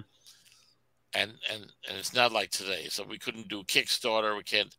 So we just have to come up with the scratch. And then at the same time, he's, he's also doing his stuff for DC and Marvel. So that's in the way. So I got, you know, waylaid into doing different things and working on James Bond movie, right? And up writing the uh, the original opening for Octopussy wow. and stuff like that, and then you know the uh, the Archie Comics thing that we worked on that, and that didn't do anything. So I, you know, and I was publishing the Star Blazer magazines, and then I I, I veered off into uh, the heroic fantasy. So I worked with Marcus Boas on that magazine, and I did the Lana of the Lost Land, which is another character I want to uh, bring back, and I've been working on that with Ray Ray on and off for the last couple of years. But I, you know, I, it's another Kickstarter I want to do later in the year. Is that but I have uh, to, is that like a Jungle Girl type of? It's a Jungle Girl, yeah. Okay. But I looked at the stuff that I was working on, and I'm not happy with the story that I concocted. Okay. So I'm gonna kind of like kind of redo the the. I mean, I have the original two stories that were done for Heroic Fantasy, inked by the late Chris Peppo. Uh, but I'm gonna use some of the stuff that I worked on with uh, with Ray, with Ray inking and, and whatever. But I'm not happy with the way it looks, so I'm gonna just kind of pull some panels and redo others, and you know, uh, work on it. And yeah, the storyline, yeah. I I want to change the storyline. The original storyline is like, eh, it's too much Indiana Jones. I want to change it to get more thigh in there. So a little more Edgar Rice Burroughs and less Indiana Jones. So okay, so I'm going to change that. But that's another thing I'm going to work on. And then I have some other books I'd like to work on, which all these things which I didn't finish in the 80s because there was one that was supposed to be a, a movie book called Movie Muscles. It was supposed to be a photo book on all the kind of the Hercules type movies, and, mm-hmm. or what they call the peplum, which I did have a, a contract with a British publisher in the 80s, the late 80s, with my late friend Bill Feret, who wrote a book called Lure the Tropix. He was also a great artist, and he wrote a lot of articles and stuff on Sheena for Bill Black and everything. And uh, he passed away. And then the, the company went out of business.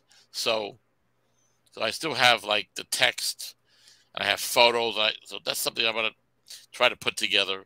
Yeah. Maybe as an Amazon, you know, print on demand, and uh, um, that's another one I, I would like to do, and then then maybe a compendium of stuff from the old Star Blazer magazine that I did, you know, a compendium of yeah of yeah yeah, yeah from that. You know.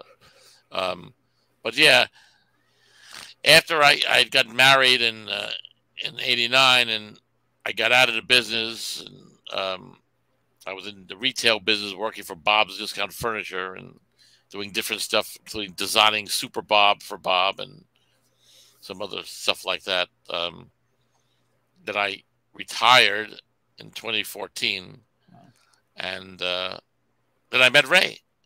Yeah. And so that, that kind of like uh, got me into, hey, I can, because uh, I was thinking at that time even to, to redo Astron, but Ray kind of gave me the the impetus and to to get it done because he was doing his book. So yeah, so I I, I ninety percent I have to thank Ray for for that. Well, I have to say I've never met a workhorse like Ray before. That man just pushes stuff out constantly. He's always working on stuff. Ray has enough backlog material for like 30 books. Yeah.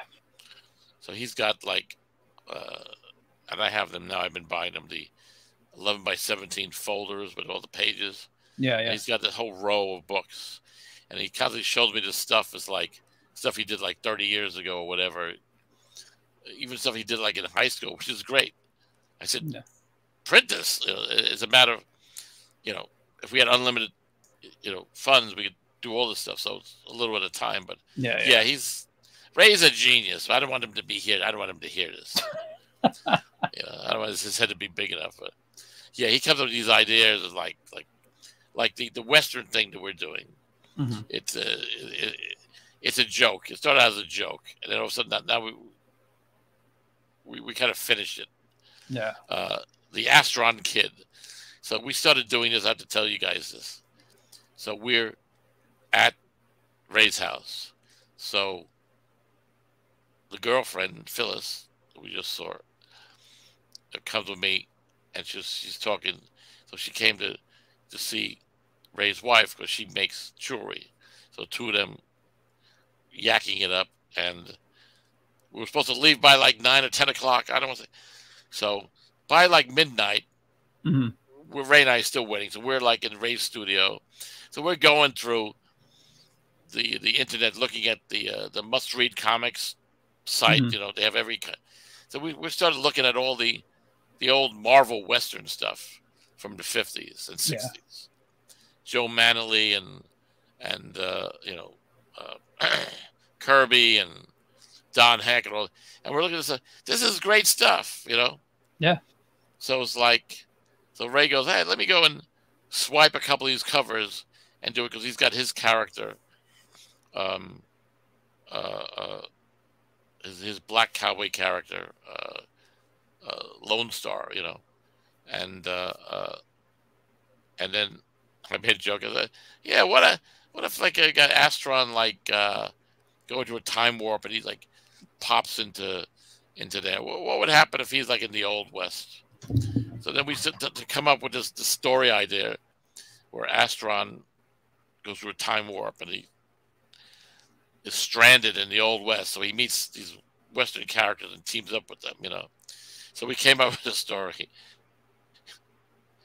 to finish inking it.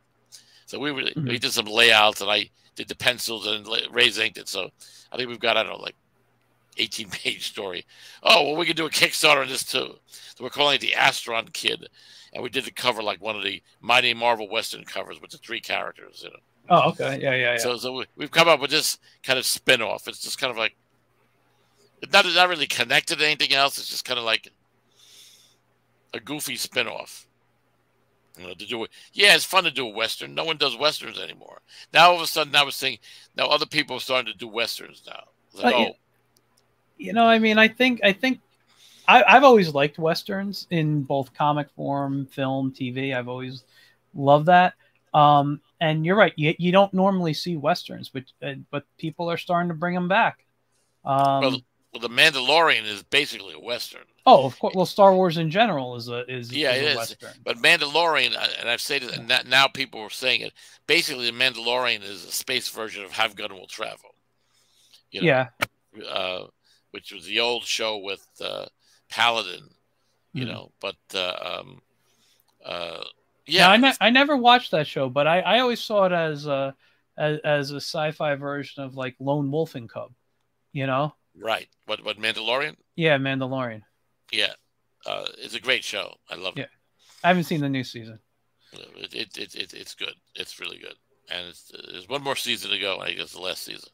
Mm. You know, but uh, but yeah, that's uh, uh, the Mandalorian, and so I think uh, westerns are going to come back in some form. Yeah, because I think people are getting tired of the superhero. I know I'm kind of kind of getting burned out with the Marvel heroes already. Mm you know, and and it seems that I haven't been to Disneyland or Disney World lately, but it seems to me that like Donald Duck and Mickey have been like kind of shoved to the side. I know, isn't it sad? Except on my body, they're always on. Right, but like shoved to, they're like shoved to the side. I mean, I want to do cartoons of of like people coming to Disney World, and Mickey and Donald are are like have like a tin cup in their hand, asking for handouts. You know, you know, Spider Man has taken over. I mean, it's well, kind of sad. Actually, I don't know if you know this, um, but the Universal Studios, um, like where they have, I guess, in Florida, the Islands of Adventure, where they have the Marvel heroes. I don't know if you you knew this, but they will never lose the rights to to those Marvel characters as long as they keep them 90s style. They have a they have a contract that as long as they keep them to that 90s style, they will never lose the rights in the park to the Marvel characters. So, D, so Disney can actually sell Marvel action figures and all this Marvel stuff, but they don't really have a Marvel presence in the park, at least in in in Disney World in Florida, right. because Universal has those rights. That's pretty funny. So, because when they made the deal, but um, but obviously they're all Star Wars now. But uh, right. Uh, but that's the thing. Yeah. But I think uh, California has some Marvel stuff.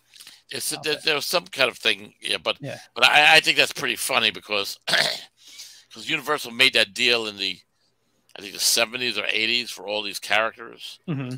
And up until recently, they still had the, they may still have the rights to, to, um, like the Hulk and Submariner to do like separate movies. But, Mhm. but I guess they made a deal allowing Submariner to be a character in the Black, but I don't think they could actually do a Submariner movie unless it's Yeah. like co produced by Universal. Yeah. Same with the Hulk. They can't do a Hulk movie. It's got to be like Universal and Marvel. Like the Spider Man has to be like Sony and Sony, Marvel. yeah, exactly. So it's like it's pretty. Fun. I think that's pretty funny. I was wondering about that, like you know, because Universal had all the Marvel characters. Like, oh, what's uh, Yep. yeah. But uh, uh, I was under the impression that they were closing the Wizarding World in, in Florida. I haven't heard that. Um, I've actually, my wife and I have been talking about maybe taking a trip to Universal because we, we're, you know, we're big Disney fans, but we've never, we haven't been to Universal in like ten years, maybe Right. longer. So we're like, we should check it out and see what's going on there. Yeah, I, I like. I've never been to Orlando. I mean, I would like to, to see it, but Hmm. um, I don't know if I can afford to the prices at Disney. I mean, No I've one been- can these days. I've been to Disney twice, Disneyland, but both times for free because I knew people at Disney in the publicity department in New York, so they arranged for me to get a free pass. Yeah, So both times I went, I got in for free, and I got all kinds of freebies and stuff. yeah, no, that's nice. But that that was back in the '80s, not anymore. Yeah, But uh, you know, it, it it would be nice to see that. But I think I think Universal's a little cheaper. It's a little uh, based on the way things are, from what I can tell, yeah, at the moment, but um, yeah. I mean, I but it's not as much to do as there is in Disney World. No, no, no. I I've been to the Universal in, in L.A. and uh, again that was the '80s, um, and I did get on the, the King Kong ride, which was great. I remember that. Yeah, but um, the last time I was in L.A. with my cousin when we were filming this uh, little movie that was before COVID, like 2018. Mm. Uh, we were supposed to go to Universal, but then it just just kind of like the, the time went, you know. So so we had Yeah. to choose: do we go to Universal or do we go to Lunch with George Lazenby? Uh, we'll go to Lunch with George. So that was. You know, so James Bond won out. So we went to lunch with George. so uh, and that's another story. George is hysterical, but he filmed a little, the little promo thing for my cousin's movie Z Dead End, but it's still the movie's still unfinished because of COVID. So we Yeah. managed to do like half the movie. So I'm not sure what is going on. and we wanted to finish the movie this year, but but George said that he would be in it. He'd, he'd do it. He'd finish it. So you know, he's Yeah. a cool guy. That's cool. Uh, uh, What? But uh, aside from that, I'm just trying to think of any other funny run stories. So yeah, we got all these pages done. So get the Kickstarter, guys. Go to the Kickstarter. Yeah. When it when it, when it goes live, go on there now. Sign up. You'll get the email when it goes live. Go to give me money. We want to get a lot of money. If I get enough money, then we might even do it in color. Right now, it's going to be black and white, just like the old days with Warren and the Marvel magazines. Gloria's black and white. You get to see all the artwork and everything. I, I love black and white books. Um, hold on, let me give you the screen so we can see it again. Okay. Yeah, sure. You know, and I've said this on the show multiple times. I've, I don't know if I've ever talked about it with you, but I've talked about it with Ray. And I don't understand why people aren't doing these black and white grayscale books as much as, you know, I mean, that's gorgeous art in there. But like when you look at, at what sells these days, it's it's it's graphic novels, it's manga. So if you're Well, that I, I was just going to say that um, the manga is outselling the American comic book, yeah, they are, and they're all in and they're all black grayscale. and white. Yeah, they're all black and white grayscale. So it's it, really, you know, we're talking about the the um, American comic books, and they make these movies, but the things that the kids are reading, they're not buying really the the trade paperbacks. If you go to Barnes and Noble, There's mm-hmm. twice as many shelves of manga as there are American mm-hmm. comic books. They're all made mostly black and white. Yeah. And that's what they and the artists in Japan do it black and white. They still sell Zipatone yeah. in Japan. It's really expensive, but you can still get Zipatone in Japan. Yeah. Um but uh yeah. You know, but the American publishers it it, it, it the people the people working right now for the companies, mm-hmm. maybe not the independent, but the two majors, mm-hmm. the, the people working there, I think are, I don't know if they're mostly male, but they're maybe in their 20s or whatever. And they're just like set in stone in a certain way. And they're not either not aware of or uh, don't care about other ideas. They just want to do the same crap all the time. Well, you know, I was watching a YouTube video. I forget who it was. It might have been Eric July's video, the guy who did the the Kickstarter and made like millions off his Kickstarter. Oh yeah, yeah, yeah. Um, and he was saying something that I've been thinking about, and I'm like, why? And and I don't know if it was him. I just it might have been him. And he, you know, whoever I watched was saying that people are you know are only are only remaking and working on things that have a proven track record but they right. are but they're they're pushing it so far into the ground they're basically burying it and destroying it that and right. they're not looking at these new properties sure spider-man is a popular property so make a hundred spider-man movies until they're all garbage you know what i mean like right and it's like and and because you know you were mentioning how you're a little tired of the Marvel heroes. I have right. come out and said I haven't been happy since Endgame ended with like a Marvel story. Um, right. But what I find is it's not the characters that I'm tired of; it's the storytelling that I'm tired of. Right. I find the stories to be bad because all they're doing is they're just trying to push out and make money off an established brand and not work at building up new characters, not building up new stories, looking for where things were. You know, when Hollywood first started, where did they go? They went to the newspaper strips and they had serials of Dick Tracy and Blondie right. and and and Superman and you name it. They were there. Captain America, Batman. They, they, they all had these movie serials and stuff. Hollywood has always gone to comics, but back then it was new. Back then it was exciting. Back then people were reading the books, people were reading the strips. Right these days, these heroes, unless you're someone like us who grew up on it or work in the industry, they don't know these characters, you know, the, the normal audience outside of what they're shown in the theaters. And they don't they don't see the, the they don't know the good stories that that could be told from the comics. They don't know um you know the details of of really what makes those characters special because they're only focusing on certain key elements that moviegoers would, you know, would would would uh, connect with over what would really happen if they sat down and read a comic. And you know? they're using storylines that are 40 years old. Yeah. I mean, yeah, and that's the whole thing. They're, they're not coming up with a, a new idea. Yeah. They're basically just taking storylines from 40 years ago and um, just updating it. So the whole Thanos thing is from like the mid '80s. No, or the Secret Invasion basically is the Skrull War. That's yeah. Again, so they're not coming up with a new idea or a new character. Now they just I just noticed that now they've got a whole thing in comics. Ooh, Ms. Marvel dies. Oh, yeah, I just saw that. that one before. Where we seen that one before? Oh, Every- Ms. Marvel's died. Oh no, everyone's gonna buy because she died. No, and then she'll come back in six months. Yeah.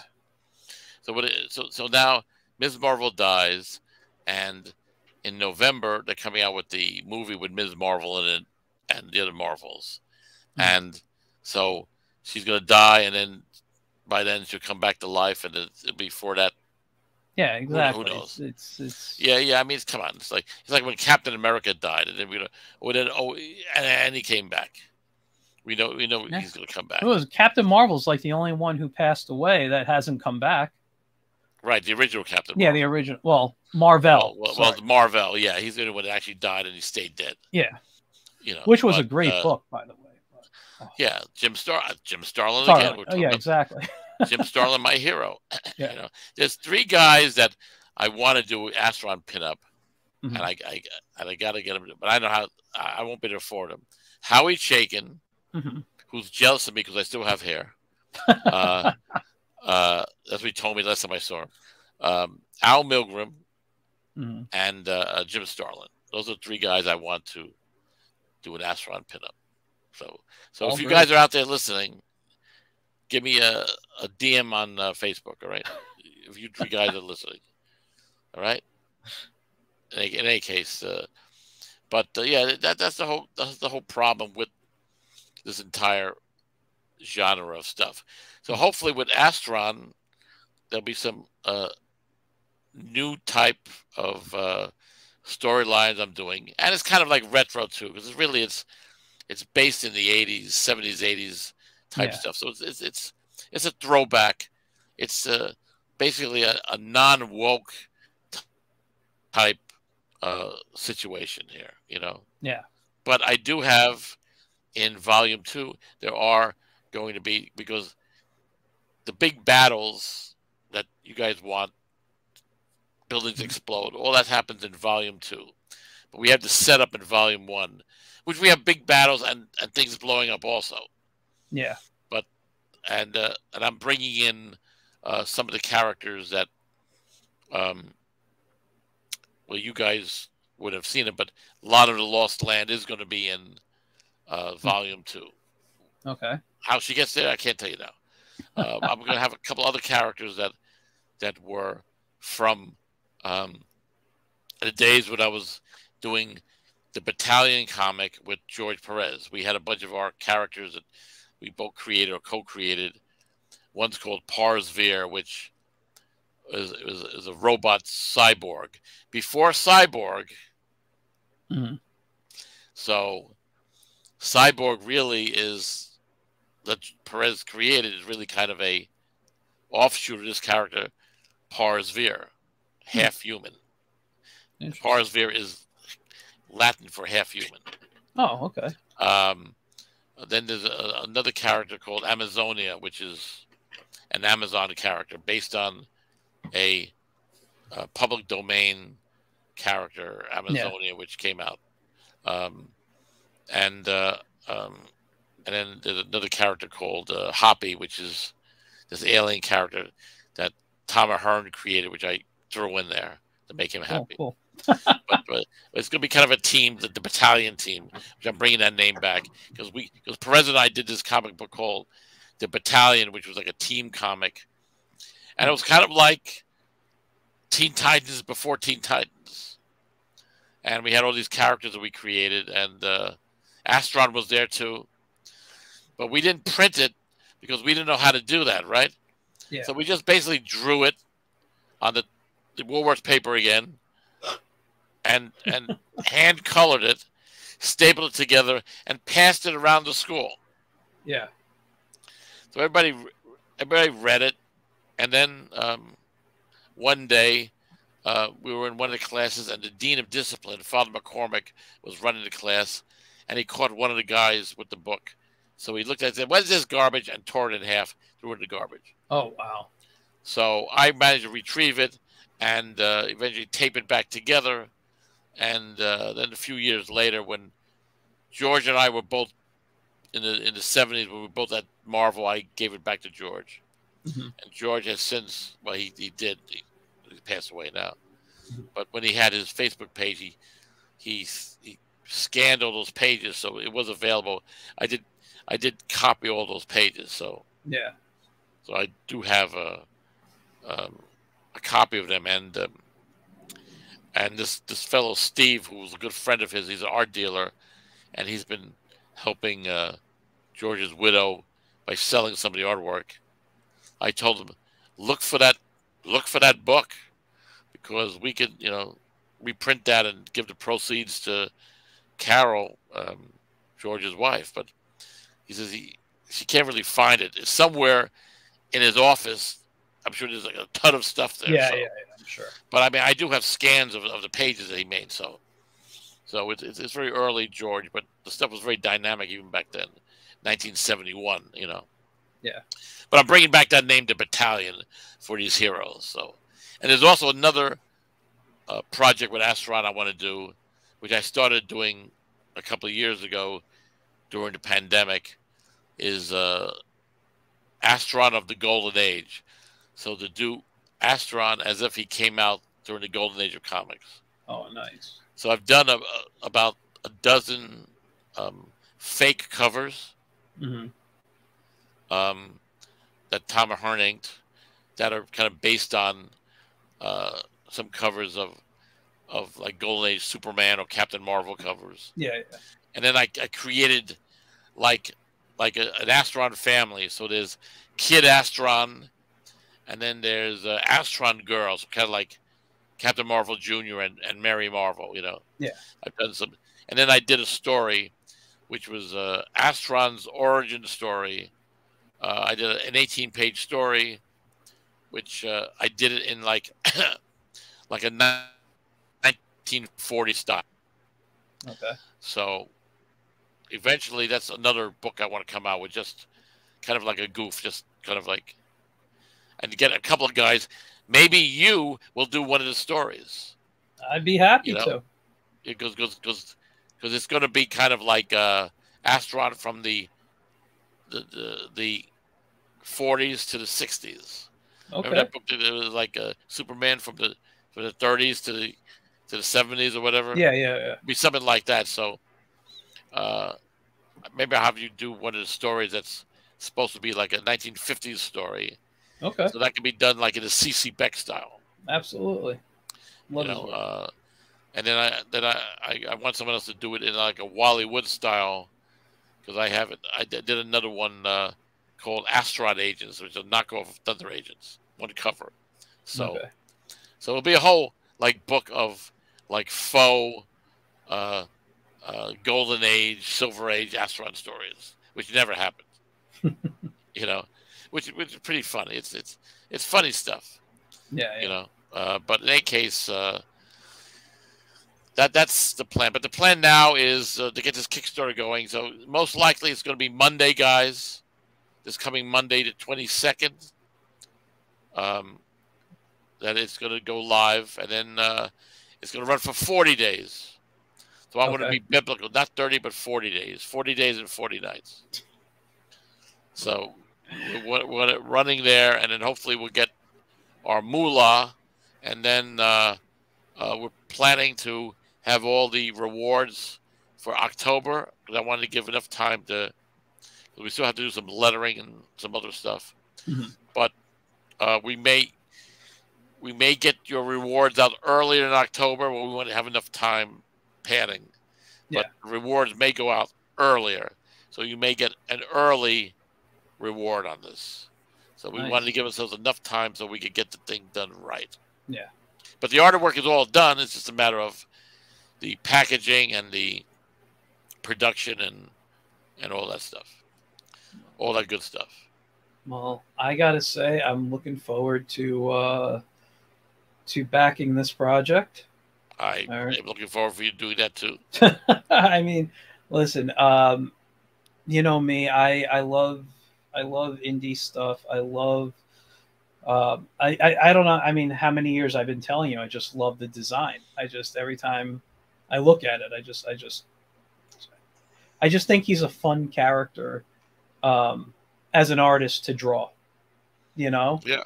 So I and and I like the classic stuff. I like retro stuff. I love, you know, I love all those and and you're you know I love science fiction. I mean, I've talked on my show about my Dax Photon, which is a tribute to sci-fi uh, yep. stories. I've I was working on a sci-fi. A lot of my stuff is sci-fi. So you're you're you're you're hitting every like box. You're checking every box for me right now. So well, I'm that's excited. I'm glad I'm, I'm, I'm, glad I'm doing something right. Yeah. You know? So and and I know there's a lot more people out there like me.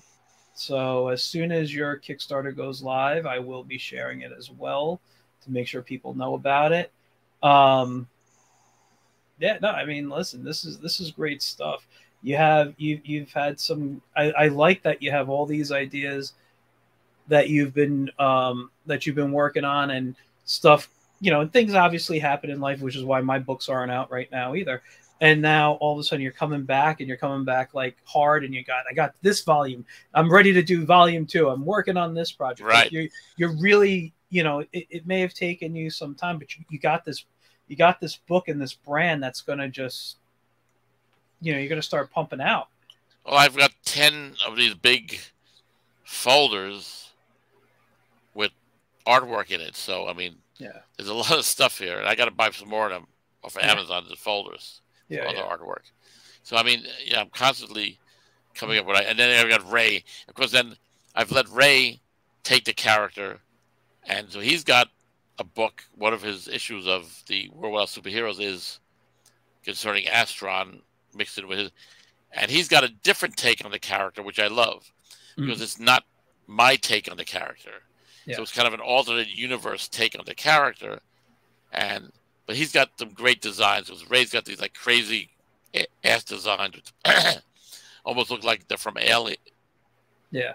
Alien, you know that the, the Ridley Scott Alien. Uh, so I mean, so Ray's got his take on the characters, which I enjoy. You know, it's kind of like you, know, you got the Curt Swan Superman, Mhm. then you have the Wayne Boring Superman, the Al Plastino Superman, the John Burns Superman. So you got different takes on it. You know.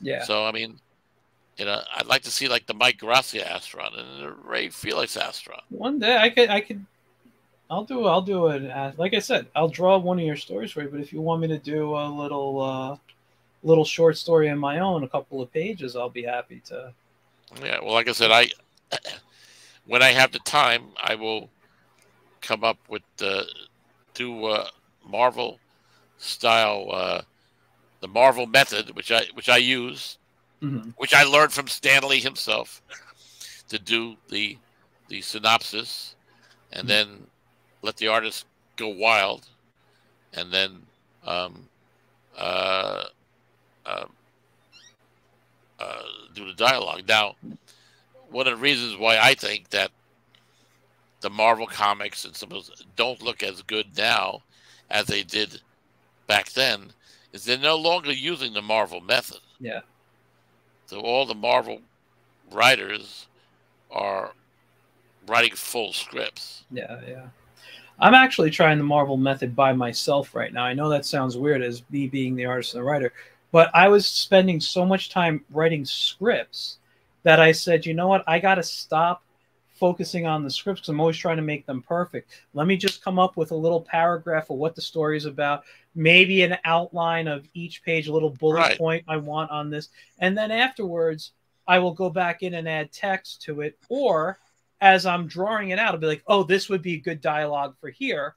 Let me throw it in. So I'm kind of working that way on a few stories, and I'm actually moving faster than when I was focusing just on Well, scripts. well, we as artist writers, Mhm. like Ray is an artist writer. Mhm. That's the one thing. Also, by doing this, I kind of cut out the middleman, so I really didn't have to hire any other artists except Tom Ahern yeah, inking. But um, uh, we can do that.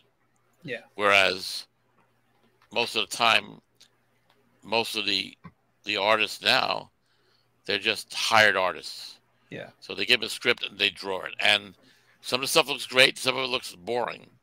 Mhm. And I think that if they had more artist writers, or if they did more Marvel method, yeah, then the problem is is is is is now the way things are. In the old days, the artists and writers, a lot of them, you would go to the office and meet and hang out and do what we're doing here. Yeah. Chatting, whatever. Um, but now it's like, well, you know, the artist might be in Argentina and the writer might be in like uh, uh, California. So it's like, well, it's not easy just to hand him a script. Yeah.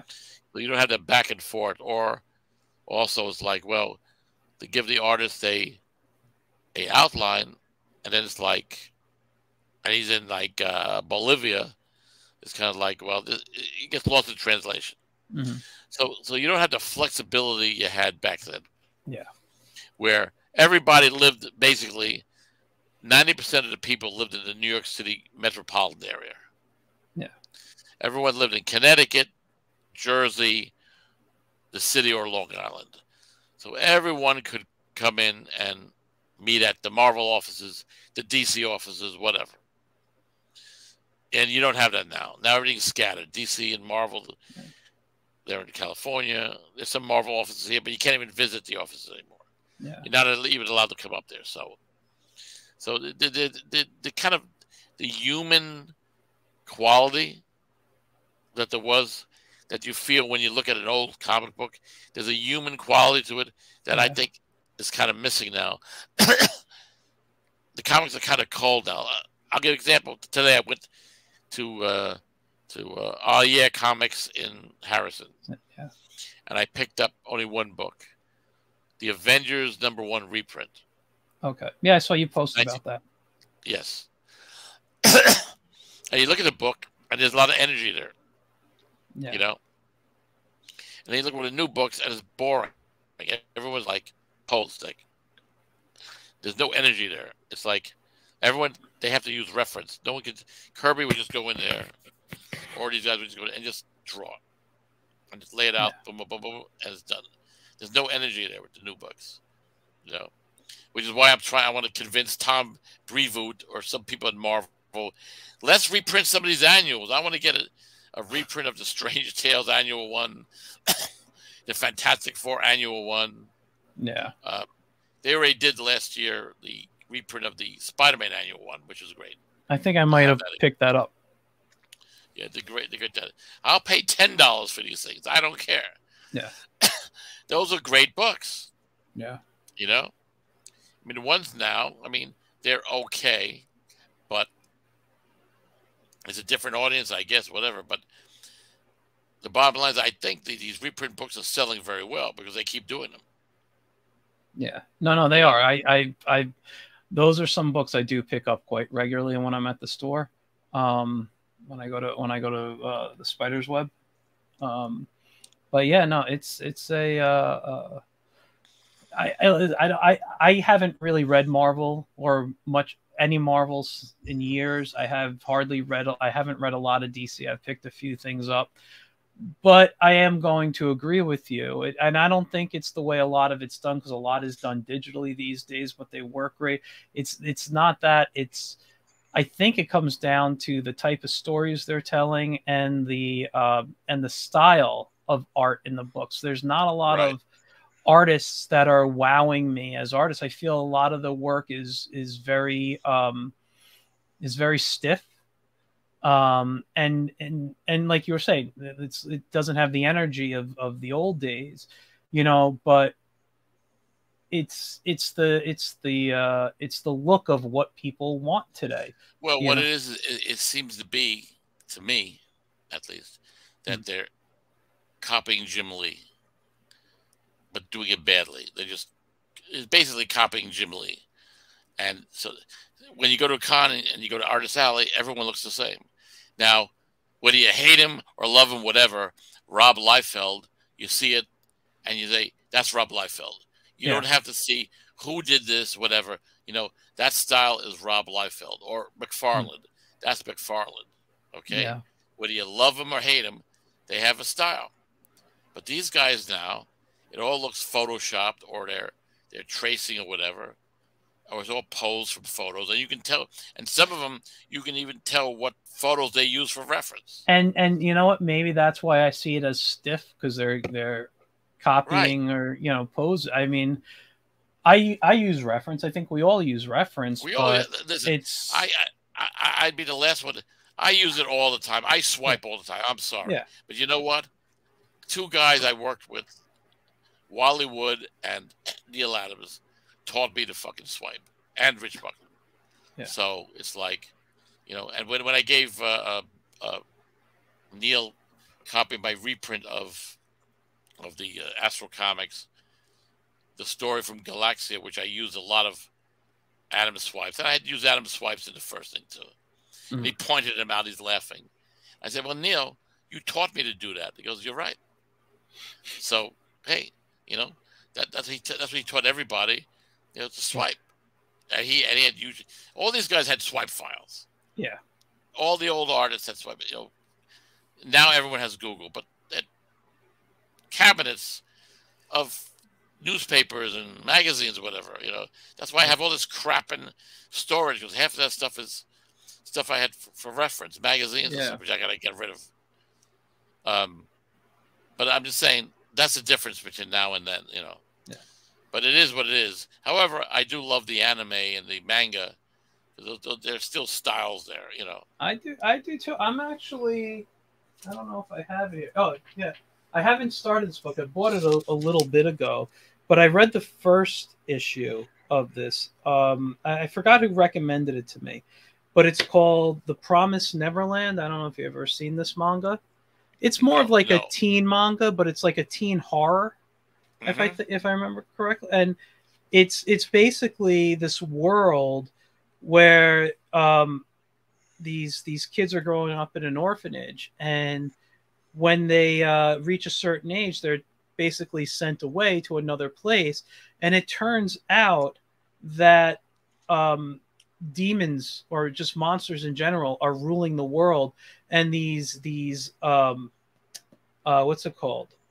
These orphans, these kids, are basically being raised to be food for these monsters. Uh, so like they take these tests and if they're intelligent enough, they get to move on to the certain. So like the monsters are looking for specific like there's a, you know, I guess if they're intelligent and they're healthy, they're a uh, they're a delicacy. They can get more money or whatever for um. And so I haven't I I, I there's like I think I think they're in the 20s in the volumes of books for these right now, but right.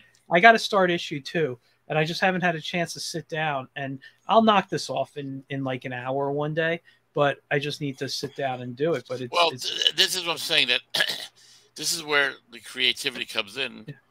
from from from this stuff, and you know because the publishers there in Japan, they mm-hmm. also it was a whole different ball game. They yeah they give the artists and writers rights and money and yeah. you know which they respect their their artists and writers. Well, they, they, well, that's how even in Europe they respect the artists, and you yeah you're getting you're getting more money, and you get money from the government or whatever. Here, you know, they they they they they don't want to. I mean, look what's happening with the Writers Guild. You know, yeah, they they, they treat you hired help like shit. Uh, someone said years ago that the uh, the comic business is the less like plantation mentality so this is why you, also you're not seeing really a lot of new characters coming out of the the majors. Yeah. Because no one wants to create something where they're not going to get the rights for. Yeah, exactly. So they, they they hold off until they find an indie publisher or whatever, and then they they do it for them. Yeah. Whether it be Dark Horse or Image or whatnot. You know, they're not, you're not going to see any new characters coming out at Marvel or DC unless it's just a, a retcon of something they have already. Yeah, but the, the, also with Marvel being owned by Disney and, and DC, you know, Warner Brothers and whatever, it's it's a whole uh, it's a whole other corporate structure than just going oh, yeah. to something like Image, where Image is just Image, you know. Right, exactly. And uh, you know, so I and but by the being, way, what did you what did you think of of those covers that they had recently of uh, Marvel, where they have all the Disney characters as Marvel characters. Oh, I, I, I haven't seen them all, but I've, I, whoops, hold on. Looks like my computer's going to sleep for some reason. Uh, um, yeah, no, it's, uh, it, you know, I mean, they are what they are. I, I don't want to knock them, um, because I, I, I can't, but they weren't books I'd want to spend money on.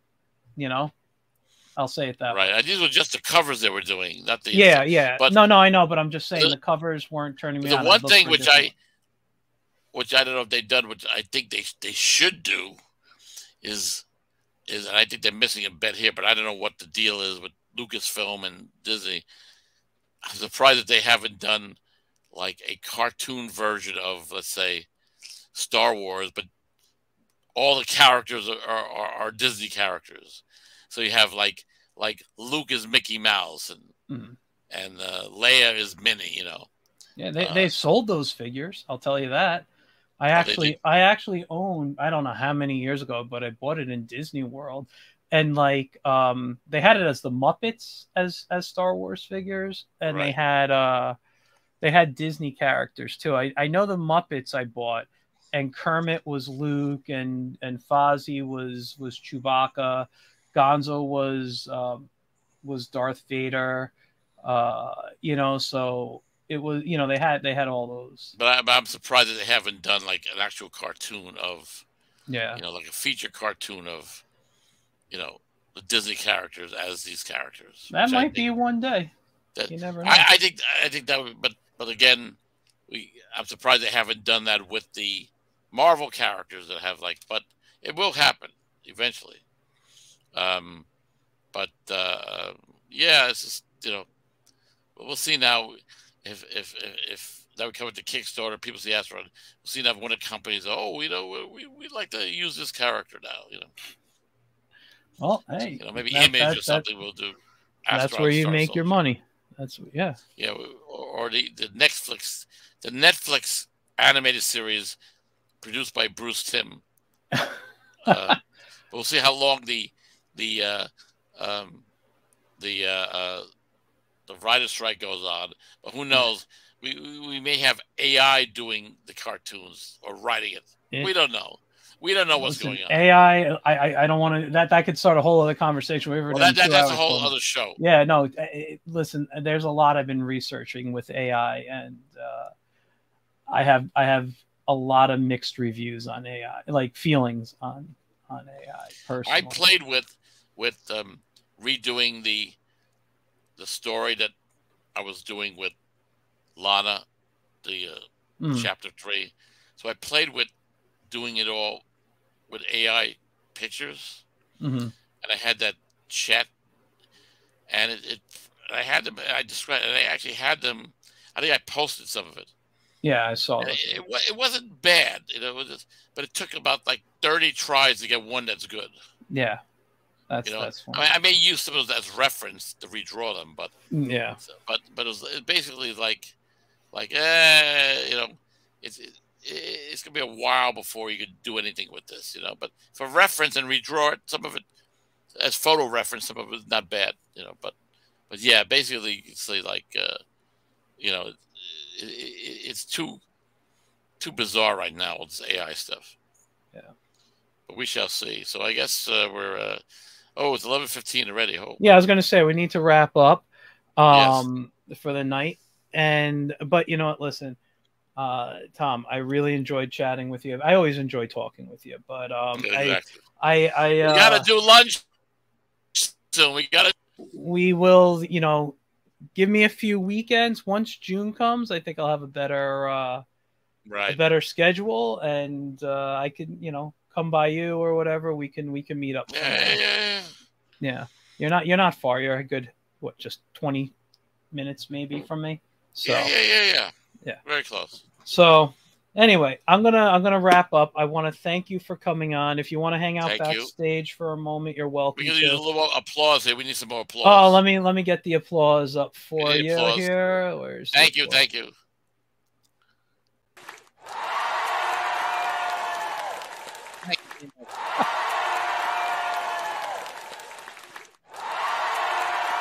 I, I, like that. That's good. There you go. That that's just right. we had to that's, give you. we needed that. We needed that applause. That's for our audience out there. Thank you very much. Yeah, thank you all for watching. Um, I'm just going to drop you backstage. I'm going to do my wrap up. If you want to hang out a few, you're welcome to. Yeah, sure. Right? No problem. All right. All right. All right, guys. So that was me chatting with Tom Sciacca and for a little bit, Ray Felix. Um, you know, thank you for everybody who watched, you know, live, who's going to watch later. Please remember in the comments, there is a link to the Kickstarter. If you go to it today, it'll allow you to save it so you're notified when Tom makes the uh, Kickstarter live, which will be Monday as of right now. He may change his mind, but as of right now, it's Monday. So uh, make sure you click on that, save, so you're notified, and you know back it when it comes out. In the meantime, uh, I will see you guys later. I have a great guest next week. I'll let you know who it is when the ads start coming out. I really have a fun show planned then. And on the, I believe it's the 31st, the last Wednesday. I think it's 31st. I have a really uh, fun returning guest. You'll you'll definitely enjoy that. I will see you guys soon. Thank you all for watching, and I'll see you later. Bye, guys.